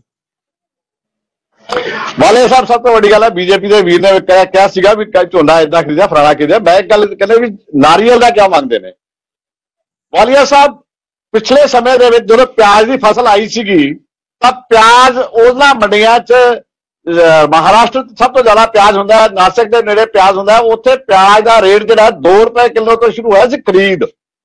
2 ਰੁਪਏ ਕਿਲੋ 5 ਰੁਪਏ ਕਿਲੋ 10 ਰੁਪਏ ਕਿਲੋ, ਵੱਧ ਤੋਂ ਵੱਧ ਖਰੀਦ ਹੈ। ਅੱਜ ਉਹੀ ਪਿਆਜ਼ 80 ਰੁਪਏ ਕਿਲੋ ਤੋਂ 100 ਰੁਪਏ ਕਿਲੋ ਵੀ ਟੱਪ ਗਿਆ। ਸਵਾਲ ਇੱਥੇ ਖੜਾ ਹੋ ਗਿਆ ਕਿ ਜੇਕਰ ਉਹ ਆਖਰ ਕੌਣ ਆ ਬੰਦਾ ਜਿਹੜਾ ਵਿੱਚ ਵਿਚਾਲੇ ਇਹਨੂੰ ਸਾਰਾ ਪਿਆਜ਼ ਦਾ ਇਹ ਤਾਂ ਹੈ ਨਹੀਂ ਕੋਈ ਰੋਜ਼ ਪੈਦਾ ਹੁੰਦਾ ਜਾਂ ਇੱਕ ਵਾਰੀ ਘਟ ਗਿਆ ਜਾਂ ਵੱਧ ਗਿਆ, ਉਦੋਂ ਪੈਦਾ ਹੋਇਆ ਬਿਲਕੁਲ ਇਦਾਂ ਹੀ ਨਾਰੀਅਲ ਦਾ ਵੀ ਇਹੀ ਗੱਲ ਹੈ।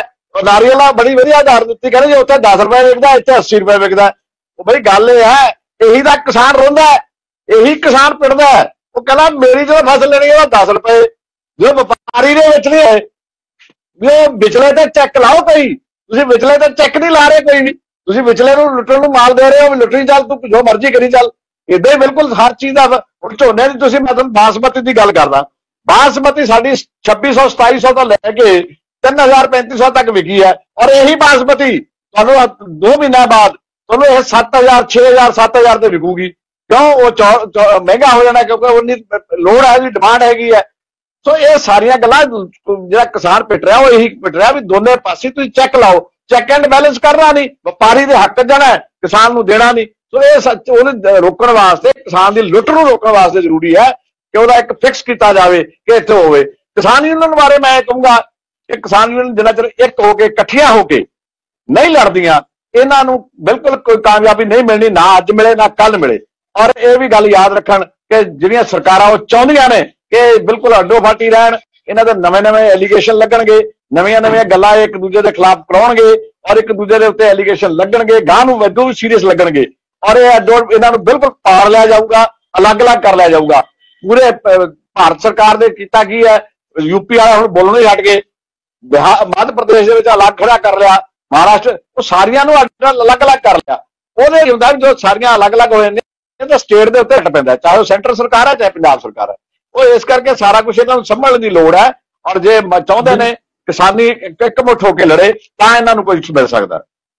ਬਿਲਕੁਲ ਤੁਸੀਂ ਠੀਕ ਕਿਹਾ ਤੇ ਜਿਸ ਤਰੀਕੇ ਨਾਲ ਸ਼ਾਦੀਪੁਰ ਜੀ ਦੱਸ ਰਹੇ ਸੀ ਕਿ ਪਿਛਲੇ ਅੰਦੋਲਨ 'ਚ ਇਹਨਾਂ ਨੇ ਆਪਦੀ ਭੂਮਿਕਾ ਨਿਭਾਈ ਕਿ ਇਹਨਾਂ ਨੇ ਸਾਰਿਆਂ ਨੂੰ ਇਕੱਠੇ ਕਰਨ ਦੇ ਵਿੱਚ ਜਿਹੜੀ ਇਹਨਾਂ ਦੀ ਭੂਮਿਕਾ ਸੀ ਬਿਲਕੁਲ ਫਿਰ ਤਾਂ ਸਹੀ ਗੱਲ ਹੈ।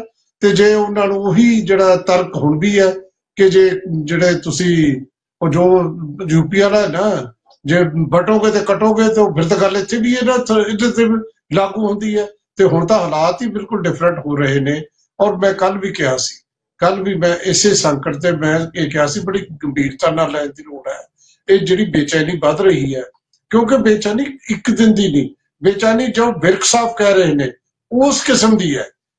ਪਹਿਲਾਂ ਝੋਨਾ ਚੱਕਣ ਵੇ ਰੌਲਾ ਪਿਆ, ਫਿਰ ਪਰਾਲੀ ਨੂੰ ਫੋੜ, ਫਿਰ ਰੈਡ ਐਂਟਰੀ ਦਾ, ਜਿਹੜੀ ਲਗਾਤਾਰ ਉਹਦੇ ਵਿੱਚੋਂ ਫਿਰ ਜਦੋਂ ਬੰਦਾ ਇੰਨਾ ਜ਼ਿਆਦਾ ਦੁਖੀ ਹੋਵੇ, ਬੇਚੈਨ ਹੋਵੇ, ਬੇਕਰਾਰ ਹੋਵੇ, ਉਹਦੇ ਵਿੱਚੋਂ ਬਹੁਤ ਕੁਝ ਨਿਕਲਦਾ ਹੈ ਤੇ ਅਸੀਂ ਚਾਹੁੰਦੇ ਹਾਂ ਕਿ ਪੰਜਾਬ ਜੇ ਸ਼ਾਂਤੀ ਹੋ, ਤਾਂ ਹੀ ਪੰਜਾਬ ਜਿਹੜਾ ਹੈ, ਉਹ ਤਰੱਕੀ ਵੱਲ ਨੂੰ ਵਧੂਗਾ ਤੇ ਹੁਣ ਸ਼ਾਂਤੀ ਤਾਂ ਹੋ ਰਹੀ ਹੈ, ਕਰੀਏ ਕੀ?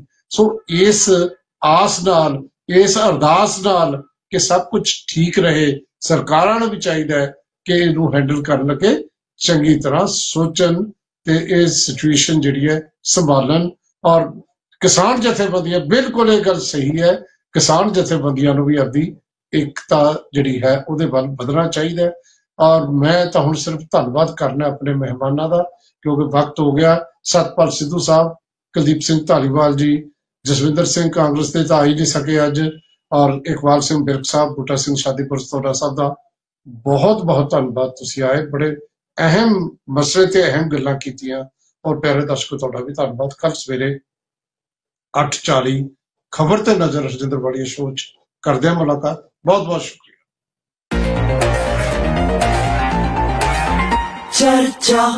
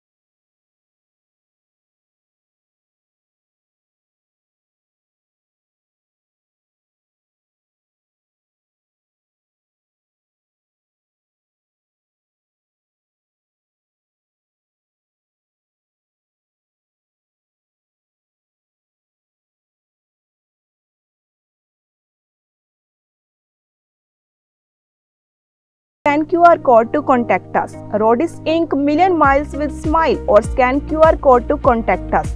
Flying Truck Repair, trust we build in truck repair or scan QR code to contact us. The Masala Twist, Oxnard Fine Authentic Indian Cuisine or scan QR code to contact us. Pizza Twist, Taste with Twist, order today, call or visit website or scan QR code to contact us. New India Market or scan QR code to contact us.